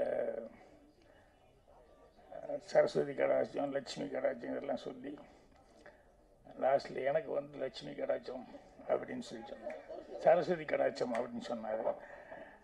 இது எங்களுக்கு எல்லாமே இதை தாண்டி ஒரு கடாட்சம் ரொம்ப முக்கியமான கடாட்சம். அது என்னன்னா ரசிகர்களுடைய கடாட்சம் அது ஏன்னா லட்சுமி கடாட்சமோ சரஸ்வதி கடாட்சமோ வந்து வாய்ப்பை உண்டாக்கி கொடுத்துரும். ஆனால் அந்த வாய்ப்பு தக்க வச்சுக்கிறது அந்த வாய்ப்பு நிலையாக நிற்கிறது அப்படிங்கிறது வந்து ரசிக பெருமள் கையில் தான் இருக்குது ஸோ அந்த கடாட்சம் அப்படிங்கிறது ரொம்ப ரொம்ப முக்கியம். சக பத்திரிக்கையாளர் அவருக்கு வந்து பட்டுக்கோட்டை சிவா அவர்களுக்கு வந்து அவங்க கடாட்சம் கொடுத்துருக்காங்க தயாரிப்பாளர். அவருடைய க- கடாட்சத்துலலாம் அவருக்கு ஃபஸ்ட்டு படம் கிடச்சிருக்கு. அதனால் அவருக்கு அவங்களுக்கு என்னுடைய நன்றியை வந்து முதல்ல தெரிவிச்சுக்கிறேன். அதே மாதிரி வந்து இவங்கெல்லாம் ஜாக்குவார் தங்கத்திலேருந்து நம்ம உதயகுமார்லேருந்து விஜய் முரளிலேருந்து இவங்கெல்லாம் பேசி அதுக்கப்புறம் இதுக்கப்புறம் நம்ம தேடி ஏதாவது பேசணும் அப்படிங்கிறதுங்கிறது எவ்வளோ கஷ்டமான சமாச்சாரம் யோசிச்சு பாருங்க. அது டைம் எல்லாம் எடுத்து எல்லோரும் டயர்ட் ஆனதுக்கப்புறம் கடைசியில் வந்து பேசுவேன்னா அது அது இந்த அம்மா விட வேற மாட்டேங்குது. இன்னும் நான் வந்து பேசியே தீருவேன்ட்டு. ஆனால் கொஞ்சம் நல்லா ட்ரெயின் ஆகிட்டுருக்குறாங்க இப்போ தான் ஒவ்வொருத்தர் பேரை தப்பு தப்பாக சொல்லி சொல்லி கரெக்ட் பண்ணி மைண்டில் வந்து இப்போது ஏன்னா தப்பு பண்ண பண்ண தான் வந்து கரெக்டாக எல்லாமே தெரியும்.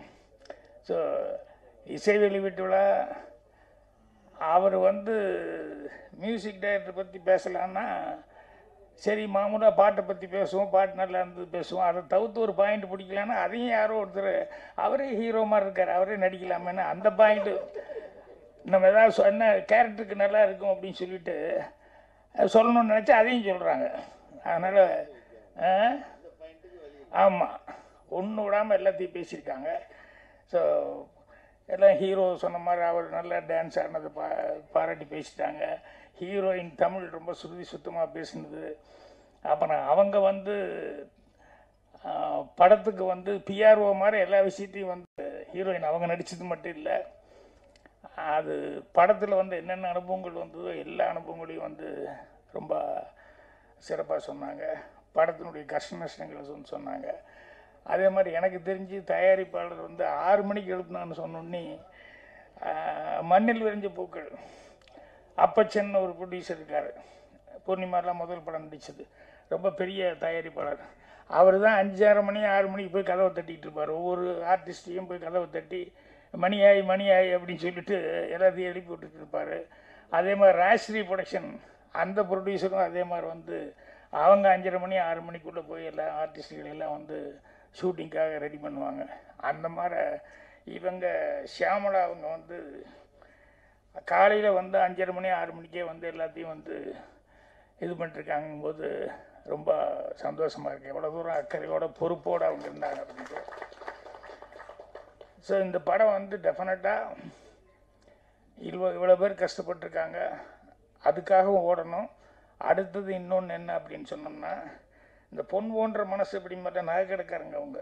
உண்மையிலேயே பொன் போன்ற மனசு தான் ஆமாம்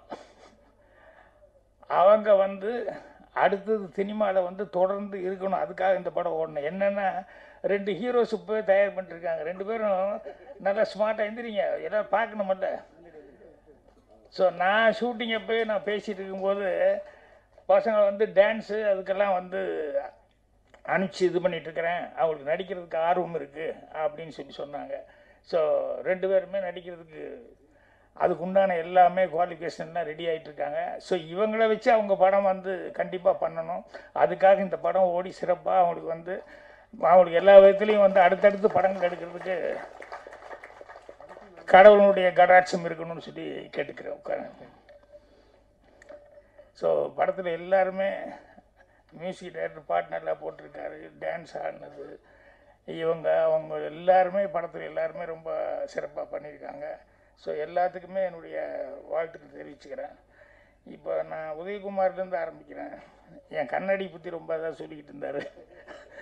உதயகுமார். அவரெல்லாம் என்ன பார்த்து ஒவ்வொருத்தர் ஒவ்வொருத்தரை பார்த்து ஒவ்வொன்று சொல்லுவாங்கள்ல அப்படியே விய- வியந்து பார்க்குறோம் அப்படின்னு சொல்லிட்டு. நானும் அப்படி தான் நானும் வந்து பார்ப்பேன். என்னென்னா அவர் என்னென்னா இருக்கிறதுலையே சூப்பர் ஸ்டாராக ரெண்டு பேர் இருக்காங்க ரஜினி கமல்னா அவரை வச்சும் படம் பண்ணிட்டார் இவரை வச்சும் படம் பண்ணிட்டாருங்கும் போது கிரேட்டு தானே.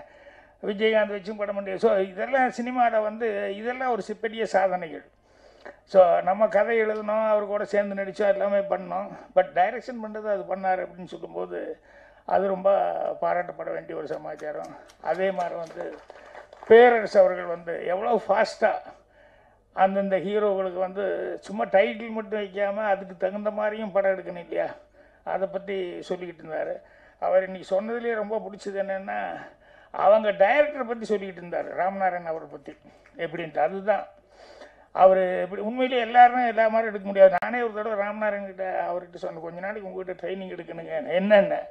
இது இவ்வளோ சீக்கிரம் சீக்கிரமாக படம் எடுக்கிறீங்க? எனக்கெல்லாம் ஒரு ஒரு படம் வந்து ஒரு கதைக்கே ரெண்டு மூணு மாதம் உட்காந்தா தான் அடுத்தது வந்து ஷூட்டிங்கே போக முடியும். ஆனால் நீங்கள் தான் எப்படி தான் இவ்வளோ சீக்கிரமாக இவ்வளோ ஃபாஸ்ட்டாக படம் பண்ணிக்கோ தெரியல அப்படின்னு சொல்லிட்டு. என்னென்னா அவர் வந்து படம் எடுக்கிறாரு. ஏதோ எல்லாருமே எல்லாத்தையும் வச்சு படம் எடுத்துட முடியாது. மிருகங்களை வச்சு படம் எடுக்கிறதுங்கிறது சாதாரண விஷயமே இல்லை அதையே ஒரு சிறப்பாக செஞ்சுக்கிட்டு இருந்தார். அதே மாதிரி ஃபேமிலி சென்டிமெண்ட்டு கூட அவர் ஒரு படம் பண்ணது எனக்கு இன்னும் அந்த படம் பார்க்கல எனக்கு அந்த சீன் சொன்னாங்க. அதை சொன்னது எனக்கு ரொம்ப ஆச்சரியமாக இருந்தது. என்னன்னா ஒரு ஒரு மனைவி ஒரு தப்பாக சந்தர்ப்ப சூழ்நிலை தப்பாக போயிடுவா லாட்ஜில் ஒருத்தர் கூட இருந்துகிட்டு இருப்பா. அப்போ போலீஸ்காரன் வந்து பிடிச்சிடுவான். பிடிக்கும்போது இவங்க வந்து என்னென்னா இது ஆக்சுவலாக அந்த அம்மாவுடைய புருஷன் கிடையாது. பக்கத்து ரூமில் வந்து அந்த அம்மா புருஷன் அவன் எங்கேயோ போனவன் திடீர்னு அங்கே வந்து நைட் லேட்டாக வந்து அவன் தங்கியிருப்பான். இப்போ போலீஸ் இவங்களை பிடிச்சிடுவாங்க. கேட்டால் போலீஸ்கிட்ட நாங்கள் ரெண்டு பேரும் புருஷன் பொண்டாட்டி அப்படின்னு சொல்லி இப்படியா தப்பிக்கணுமேன்னு சொல்லிகிட்டு இருக்கும்போது போலீஸ்காரன் நம்ப மாட்டான் ஒத்துக்க மாட்டான். இல்லை சார் அப்படின்னு சொல்லி சொல்லி போலீஸ்காரனா திரும்பி பார்க்கும்போது இந்த ஒரிஜினல் புருஷன் உண்மையிலே எனக்கு தெரியும் அவங்க ரெண்டு பேர் புருஷன் பொண்டாட்டி தான்.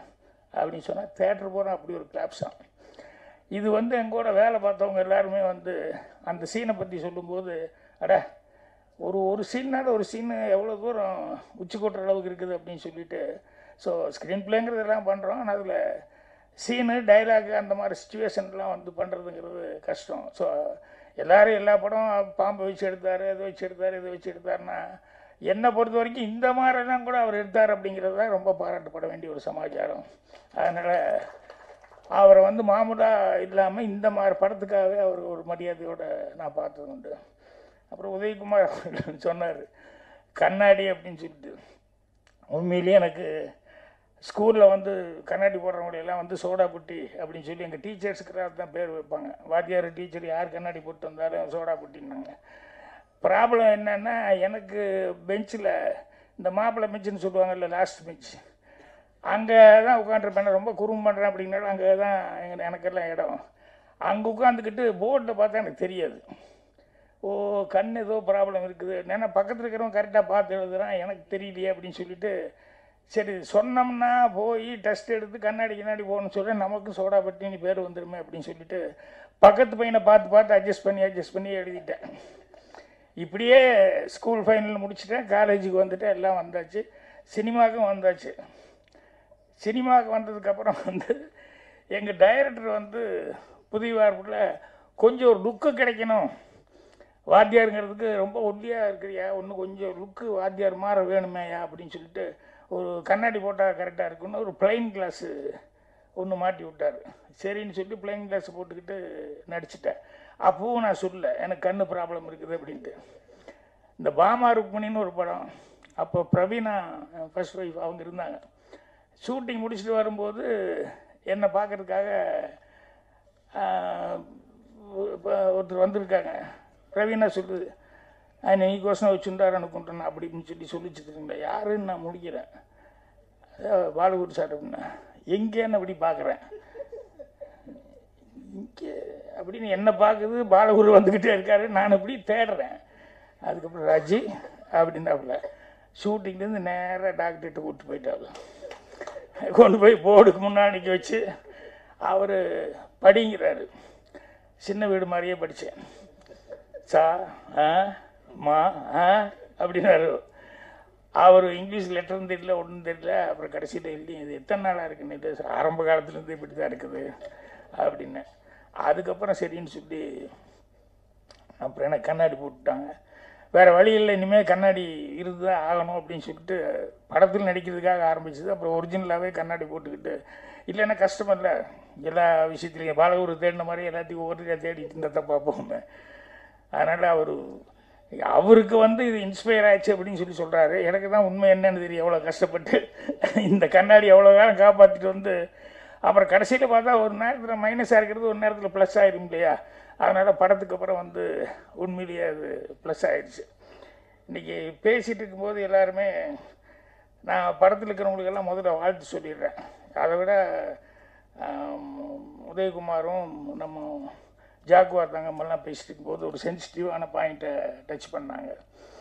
அது அது ரொம்ப கஷ்டமாக இருந்தது. என்னென்னா காலையில் கூட எனக்கு வந்து ஃபோன் பண்ணி ஏன் சார் இப்படி சித்தார்த்து இந்த மாதிரி சமாச்சாரம்லாம் இருக்குது நீங்கள் என்ன ஃபீல் பண்ணுறீங்க அப்படின்னு. அப்போ நான் சொன்னேன் இந்த மாதிரிலாம் சட்டம் போட்டுலாம் பண்ணியிருக்காங்க. தப்பு தான் ஆனால் அவங்க கடமையை செஞ்சிட்ருக்காங்க அவ்வளோதான் வேற என்ன அப்படின்னு. என்னென்னா அவளுக்கு இப்படியே சொல்லி சொல்லி பழக்கம் இதுதான் அரசியல் இது தான் அவங்க பண்ணிகிட்டே இருந்தாகணும். வேறு வழியே இல்லை. அதனால் அவங்க வந்து ஒன்றும் இல்லை கவர்மெண்ட்டு நம்ம கேட்டது மட்டும் இல்லை கோர்ட்டு மூலமாகவும் வந்துருச்சு அப்படிங்கும்போது வேறு என்ன பண்ண முடியும் அவங்க? அதனால் பேசாமல் இருந்துட்டால் அவங்களுக்கு மரியாதை இல்லாமல் போயிடும் ஜனங்கிட்ட அடுத்தடவை ஓட்டு கேட்கறதுக்கு போக முடியாது. அதனால் பாருங்கள் நாங்கள் எதிர்ப்பு தெரிவித்தோம் அப்படின்னு சொல்லிட்டு அதுக்காவது எதிர்ப்பு தெரிவிப்பாங்க அப்படின்னாங்க. இப்போ நான் கேட்குறது இவ்வளோ தூரம் தமிழ் படத்தில் இருக்கிற ஆள் அவர் அங்கே நடித்தார் அந்த ஃபங்க்ஷனில் வந்து நீ இது பண்ணிருக்கிய. இதே ராஜ்குமார் சன்னு சிவராஜ்குமார் ஜெயிலில் நடித்தார் நீ போய் அவர் வீட்டுக்கு முன்னாடி நிற்பியா நீ ஏன் தமிழ் படத்துக்கு நடித்தான்னு கேட்க முடியுமா? உனக்கு தெரியும். என்னென்னா இப்போ எல்லாமே மாறி போச்சு பேன் இண்டியான்னு வந்ததுனால இப்போ யாருமே எந்த மாதிரியும் கிடையாது அப்படிங்கிறது எல்லாமே தெரியும். ஆனால் அவங்க அவங்க ஊரில் பாலிடிக்ஸுக்காக எதாவது ஒன்று செய்யணுமே அப்படிங்கிறதுக்காக அது செஞ்சுட்டு தான் இருக்காங்க. ஆனால் அதுக்காக நம்மளும் வந்து அதை வந்து கண்டுக்காமல் இருந்தோம்னு வச்சுக்கோ அப்போ அவர் மாதிரி குரல் கொடுக்கணும். தமிழன் அப்படின்னு சொல்லி அவர் சவுண்ட் கொடுத்தா இருப்பார். ஏதோ ஷேக் ஆகிற அளவுக்கு. அவர் கூட எப்போ வந்தாலும் அவர் கடைசியாக பேசும்போது மட்டும் லேசாக காதை மூடிக்கலாமான்னு தோணும். அந்த அளவுக்கு அவர் உணர்ச்சி வசப்பட்டு பேசுவார். அது மாதிரி உதயகுமார் அவர்கள் பேசிகிட்டு இருக்கும்போது இன்னொரு சென்சிட்டிவான மேட்ரு என்னென்னா சின்ன படங்கள் அப்படின்னு சொல்லிட்டு பேசினார். உண்மையிலே சின்ன படங்கள் எல்லாம் இல்லாமல் பெரிய படங்கள்ங்கிறது எப்படி வரும் எனக்கு புரியல. ஏன்னா எல்லாமே சின்ன படத்துலேருந்து தான் ஆரம்பிக்கும். ஏன்னா சிறு துளியாக தானே உளுந்து தானே பெருவெள்ளம் வருது. அதுக்கப்புறம் தான் இதாகுது. அந்த மாதிரி சின்ன படத்தில் ஆரம்பித்து தான் பெரிய படங்கள் வர்றது புரட்சி தலைவர் எம்ஜிஆர் அவர்கள் வந்து எத்தனை படங்களில் சின்ன கேரக்டர் எனக்கு படிக்க படிக்க கஷ்டமாக இருந்தது. ஆனால் அவர் எவ்வளோ பொறுமைசாலி அப்படின்னு நினைக்கும் போது ஆச்சரியமாக இருந்தது. ஏன்னா அவர் ஹீரோயினாக ஹீரோவாக நடிப்பார் அப்படின்னு சொல்லிட்டு கமிட் ஆவாங்க. அப்புறம் இல்லைங்க கேன்சல் ஆகி போச்சு. உங்களுக்கு பதிலாக அவர் தான் நடிக்கிறாரு அப்படிம்பாங்க. அதோடு விட்டா பரவாயில்ல கேன்சல் ஆகி போச்சு. இதில் ஒரு சின்ன கேரக்டருக்கு நீங்கள் வந்து செய்யுங்களேன் அப்படிம்பாங்க. அவர் ஜீரணம் பண்ணிட்டு அந்த கேரக்டர் போய் செஞ்சார். அதே மாதிரி இந்த படத்தில் நீங்கள் தான் ஹீரோ அப்படின்னு சொல்லி விளம்பரம் கொடுக்குற அளவுக்கு போயிடுச்சு அதுக்கப்புறமா வந்து திடீர்னு இல்லைங்க. அது ரஞ்சன் போட்டால் கொஞ்சம் நல்லா இருக்குன்னு நினைக்கிறேன். ரஞ்சனை போட்டோம். சரிங்க. அதோடு விட்டாங்களா? மறுபடியும் வந்து இதில் நீ வில்லனாக நடித்தா நல்லா இருக்கும். அந்த- அதையும் சரின்னு சொல்லி ஒத்துக்கிட்டார். அதையும் வில்லனாக நடித்தார் இப்படி வந்து லைஃப்பில் ஒரு படம் ரெண்டு படம் மூணு படம் இல்லை ஒரு அஞ்சாறு படம் இப்படி வந்து வந்து வந்து வந்து ஃபெயிலியர் ஆச்சு. அதுக்கப்புறமா வந்து அவர் ஹீரோவாக நடிக்கிறாரு. அப்பவும் அந்த டைரக்டருக்கு வந்து அது என்னவோ தெரியல. அந்த எல்லி சார்னங்க நல்ல டைரக்டர் தான். தமிழ் சினிமாவுக்கு அவ்வளோ பெருமை வாங்கி கொடுத்தார் அவருக்கு எதுவும் எம்ஜிஆர் பிடிக்கல. என்னடா அப்படின்னா இல்லை இல்லை அவர்கிட்ட ஒரு ட்ராபேக் இருக்குது எனக்கு சரியாக வராது சரியாக வராது அப்படிங்கிற மாதிரியே சொல்லிட்டுருக்காரு அப்புறம் என்ன அப்படின்னா இல்லை இல்லை இந்த இடத்துல குழி இருக்குது. அது கரெக்டாக இல்லை அப்படி இப்படி என்னத்தையும் ஒன்று சொல்கிறாரு ஆனால் அவருக்கு அந்த நேரத்தில் கலைஞர் தான் இந்த இடத்துல ஒரு தாடி ஒன்று வச்சு அப்புறம் கொண்டு போய் சில்லு எடுத்து கொண்டு போய் காமிச்சு உனக்கு அதுதானே ட்ராபேக் நீ இப்போ பாரு அப்படின்னு சொல்லிட்டு எம்ஜிஆருக்கு அந்த கேரக்டரை வாங்கி கொடுத்தது கலைஞர் அவர்கள் தான் பண்ணார். ஸோ எப்படியெல்லாம் இருந்திருக்கு? அதுக்கப்புறம் அவர் வந்து புரட்சித்தலைவராகி அப்புறம் சிஎம்ஏ ஆகி ஸோ சின்ன படம் சின்ன படம் அப்படிங்கிறதோ இல்லை சின்ன கேரக்டர் செய்கிறதோ அப்படிங்கிறதெல்லாம் வந்து பின்னால் அதெல்லாம் எந்த லெவலுக்கு வரும் எந்த அளவுக்கு அவங்களுக்கு மரியாதை வரப்போகுது அப்படிங்கிறது தெரியாமல் இருக்கும்போது அது பேசுவாங்க. இப்போ உதயகுமார் சொன்னார் சின்ன படங்களுக்கு வந்து ஏன் நீங்கள் வந்து அதில் மெம்பராகிறீங்க நீங்கள் ஏன் பண்ணக்கூடாது? அப்படின்னு. எனக்கு தெரிஞ்சு இங்கேயே இதே ஒரு ஒரு வருஷத்துக்கு முன்னால் இங்கேயே இந்த தேட்டர்லேயே கூட நான் வந்து இதே டாபிக் எடுத்துகிட்டு நீ பெரிய படம் ரிலீஸ் பண்ணு ஆனால் ஒரு ஷோவாவது சின்ன படத்துக்கு கொடுக்கணும் அப்படின்னு சொல்லிட்டு இதே ஸ்டேஜில் இதே மாதிரி நான் பேசியிருக்கேன். ஆனால் ஒரு வருஷம் ஆச்சு பல தடவை அதை பேசியாச்சு இன்னும் அது வந்து வரல. இப்போ இது கரண்ட் டாபிக் ஆகும்னு எனக்கு தெரியும். என்னென்னா இப்போ ஸ்டாலின் அவர்கள் முதல்வராக இருந்துட்டுருக்காரு உதயநிதி ஸ்டாலின் அவரும் வந்து மினிஸ்டராக இருந்துருக்காரு ரெட் ஜெயிண்ட்னு அவங்களே படமெல்லாம் ரிலீஸ் பண்ணிட்டுருக்காங்க. இப்போ கூட நீங்கள் அதை சட்டமாக ஆக்கலை அப்படின்னு சொன்னோம்னா சின்ன படத்தை ஒன்றுமே பண்ண முடியாது ரொம்ப கஷ்டம். அதனால் நீங்கள் கவர்மெண்ட் வந்து எந்த தேட்டராக இருந்தாலும் எந்த படம் வேணாலும் போடுங்க. எந்த பெரிய படம் வேணாலும் அவங்களும் ரிலீஸ் பண்ணுறாங்க எதை வேணால் பண்ணுங்கள் ஆனால் ஒரு ஷோ கண்டிப்பாக ஒரு சின்ன படம் ஓடணும் அப்படிங்கிறத வந்து சட்டமயமாக்கணும் அப்படின்னு சொன்னோம்னா கண்டிப்பாக சின்ன படத்துக்கு வந்து ஒரு நல்ல எதிர்காலம் இருக்கும். அதை வந்து இவங்க வந்து மினிஸ்டரில் இருக்கும்போது ஒருத்தருக்கு அப்பா புள்ள ரெண்டு பேர் இருக்காங்க. இவங்க நினச்சாங்க அப்படின்னு சொன்னோம்னா அதை செய்ய பண்ண முடியும். அது மட்டும் இல்லாமல் இன்னொன்று என்னன்னா இது பர்சனல் எனக்கு. பர்சனல்னால் கூட சுயநலமாக இல்லை. நான் இது வந்து எலெக்ஷனில் ஜெயிச்சு வந்தோன்னையுமே அவர்கிட்ட போய் த அவங்க அப்பா கலைஞர் அவர்கள் வந்து எழுத்தாளனாக இருந்து தான் அவர் வாழ்க்கையை ஆரம்பித்தது எழுத்தாளனாக இருந்து தான் அவர் சினிமாவில் எல்லாம் எத்தனையோ இது பண்ணது. அந்த எழுத்து தான் அவர் வந்து முதல்வராகிறதுக்கெல்லாம் காரணமாக இருந்தது. அதனால் இந்த எங்கள் எழுத்தாளர் சங்கத்துக்கு ஒரு இடம் இல்லாமல் ரொம்ப சிரமப்பட்டிருக்கோம். அதனால் தயவுசெய்து அப்பா பேரில் வந்து எங்களுக்கு ஏதாவது ஒரு இடம் கொடுத்துட்டா போதும். அதுக்கப்புறம் நாங்கள் வந்து சினிமா இருக்கிறவங்க எல்லாருமே சேர்ந்து வசூல் பண்ணி கட்டிக்குவோம் அப்படிங்கிற மாதிரி சொல்லி ஒரு அப்ளிகேஷன் கொடுத்து வந்தோம். இப்போ இது மறுபடியும் என்னடா பண்ணுறது என்னடா பண்ண யோசிச்சுட்டு இருந்தேன். வேறு வழி இல்லை. இப்போ வந்து சின்ன படத்தை பற்றி ஆரம்பிக்கும் போது இதையும் ஒரு அப்ளிகேஷனாக வந்து ஸ்டாலின் அவர்களும் உதயநிதி அவர்களும் தாத்தாக்காக அவரும் அப்பாக்காக அவரும் கண்டிப்பாக செஞ்சாங்கன்னா இந்த இண்டஸ்ட்ரியில் கலைஞருக்கு வந்து என்னென்னவோ பேர் இருக்குது இன்றைக்கி நூற்றாண்டு விழா கொண்டாடிட்டு இருந்தாங்க. இப்போ அடுத்த மாதம் கூட நூற்றாண்டு விழாக்கு என்ன வரணும்னு சொல்லி கேட்டுக்கிட்டாங்க. கண்டிப்பாக நானும் வர்றேன். அப்படின்னு சொல்லி தேதி கொடுத்துருக்கேன் நானும் போக போகிறேன் ஸோ இவங்க இருக்கும்போது எழுத்தாளர் சங்கத்துக்கு வந்து ஒரு இட ஒதுக்கீடு பண்ணி கொடுத்தாங்கன்னா சினிமா இருக்கிறவங்க அத்தனை பேருமே சேர்ந்து நாங்கள் வந்து கண்டிப்பாக அந்த எழுத்தாளர்களுக்கு வந்து ஒரு நல்ல ஒரு கட்டிடத்தை வந்து உருவாக்க முடியும். அதை வந்து ஒரு விண்ணப்பமாக வந்து இங்கே வந்து உதயகுமார் தான் பேசுனதுனால எனக்கு சரி இது சபையிலே சொல்லுவோம் அப்படின்னு சொல்லிட்டு சொல்கிறேன் ஸோ இந்த படத்துக்காக வந்து எவ்வளவெல்லாம் சிரமப்பட்டிருக்காங்க என்ன அப்படிங்கிறத வந்து சொல்லும்போது படத்துக்கு வந்து என்னதானா இந்த உளி இறங்குறது வலி அப்படின்னு சொல்லி நினச்சான்னா சிலையாக முடியாதுன்னு சொல்லுவாங்களே அந்த மாதிரி நீங்களாம் வந்து கஷ்டப்பட்டது அப்படிங்கிறது என்னென்னா லைவ் லைட்டில் வர்றதுக்கு உண்டான இதுதான் அவருடைய அவர் கரெக்டாக சொன்னார் எந்த காலில் அடிபட்டது? அப்படின்னு சொல்லி கேட்டேன் நான் கூட தமாஷ் பண்ணுறாரு நினச்சிருந்தேன். அவர் எங்கேருந்து எங்கே ஜாயின் பண்ணுறாரு பாருங்க. புரட்சி தலைவர்களுக்கு எந்த காலில் அடிபட்டது எப்படி அவர் வந்தார் அப்படிங்கிற மாதிரி சொன்னார். அந்த மாதிரி இது எல்லாமே வந்து உங்களுக்கு நீ தூக்கிட்டு நடந்ததோ அதை பண்ணதோ இது பண்ணதோ அவங்க அதே மாதிரி டியூப்பு இல்லாமல் ரிஸ்க் எடுத்துக்கிட்டு அவங்க பண்ணது இது எல்லாமே வந்து உண்மையிலேயே நீங்கள் கஷ்டப்பட்டதுக்கு உண்டான பலன் அப்படிங்கிறது வந்து கிடைக்கும். அதே மாதிரி இவ்வளோ பேர்த்துக்கு வந்து அவங்க படம் ஆரம்பிக்கும் போது சொன்னாங்க என்னென்னா நான் வந்து கற்றுக்கிறேன் அப்படின்னு சொல்லிட்டு வந்தாங்க அவங்க. ஏன்னா படம் எடுத்து தான் நான் தெரிஞ்சுக்க முடியும் அப்படின்னு சொல்லிட்டு. ஸோ அவங்க வந்து இத்தனை பேர்த்துக்கு அவங்க அவரும் வந்து ரமேஷ் அவர்கள் பேசும்போது சொன்னாங்க சினிமாவில் இவ்வளவு பேர் இருக்காங்களா? ஒரு சினிமா தான் நம்ம எடுக்கிறோன்னு வந்தோம். ஆனால் இதை நம்பி இத்தனை நூற்றுக்கணக்கான குடும்பம் எத்தனை லட்சக்கணக்கான பேர் இருக்காங்களா? அப்படிங்கிறதெல்லாம் அவர் கண்ணார பார்த்தேன் அப்படின்னு சொல்லிட்டு கண்டிப்பாக நான் தொடர்ந்து இதே தான் படம் பண்ணுவேன் அப்படின்னு சொல்லி சொன்னார். அது ரொம்ப சந்தோஷமாக வேண்டியது அதனால் அட்வான்ஸாக அவங்க பிள்ளைங்க ரெண்டு பேருமே வந்து சிறப்பாக வரணும் அப்படின்னு சொல்லிட்டு அதனால் சிவா அவர்கள் உங்களுக்கு வாய்ப்பு கண்டிப்பாக இருக்குங்க அவங்களுக்கு என்னன்னா அவரும் சக பத்திரிக்கையாளர் அவர் பேசும்போது ஒரு விஷயம் சொன்னார். நான் அதான் சிரிச்சுக்கிட்டே உட்காந்துருந்தேன் அவர் பேசும்போது என்ன. என்னென்னா பாராட்டுறதுக்காக தான் சொன்னார். ஆனால் சொல்லும்போது அவருக்கு வேறு மாதிரி அவர் சொல்லிட்டார். பாகிராஜ் சார் ஒரு படம் எடுத்து ஒருத்தன் உயிரே போயிடுச்சு அப்படின்ட்டாரு. நல்ல வேலை படம் பார்க்கறதுக்கு மேலே உயிர் போச்சு. படம் பார்த்து உயிர் போயிருந்தா வேறு மாதிரி சொல்லிப்பாங்கல்ல படம் எடுத்தே ஒரு ஆளை கொண்டாயா அப்படின்ட்டுவாங்க அதை ஒன்று சொல்லிக்கிட்டு இருந்தார். அப்புறம் என்கிட்ட வந்து பர்சனலாக ஒரு சின்ன ரிக்வஸ்ட்னார் என்ன ஸ்டேஜ் ஏறதுனால என்னென்னா அது முதல் படம். அதனால் வந்து ஏதாவது தப்புகள் இருக்கும். தயவுசெய்து வந்து பெருசுப்படுத்திக்காதீங்க அப்படின்னா.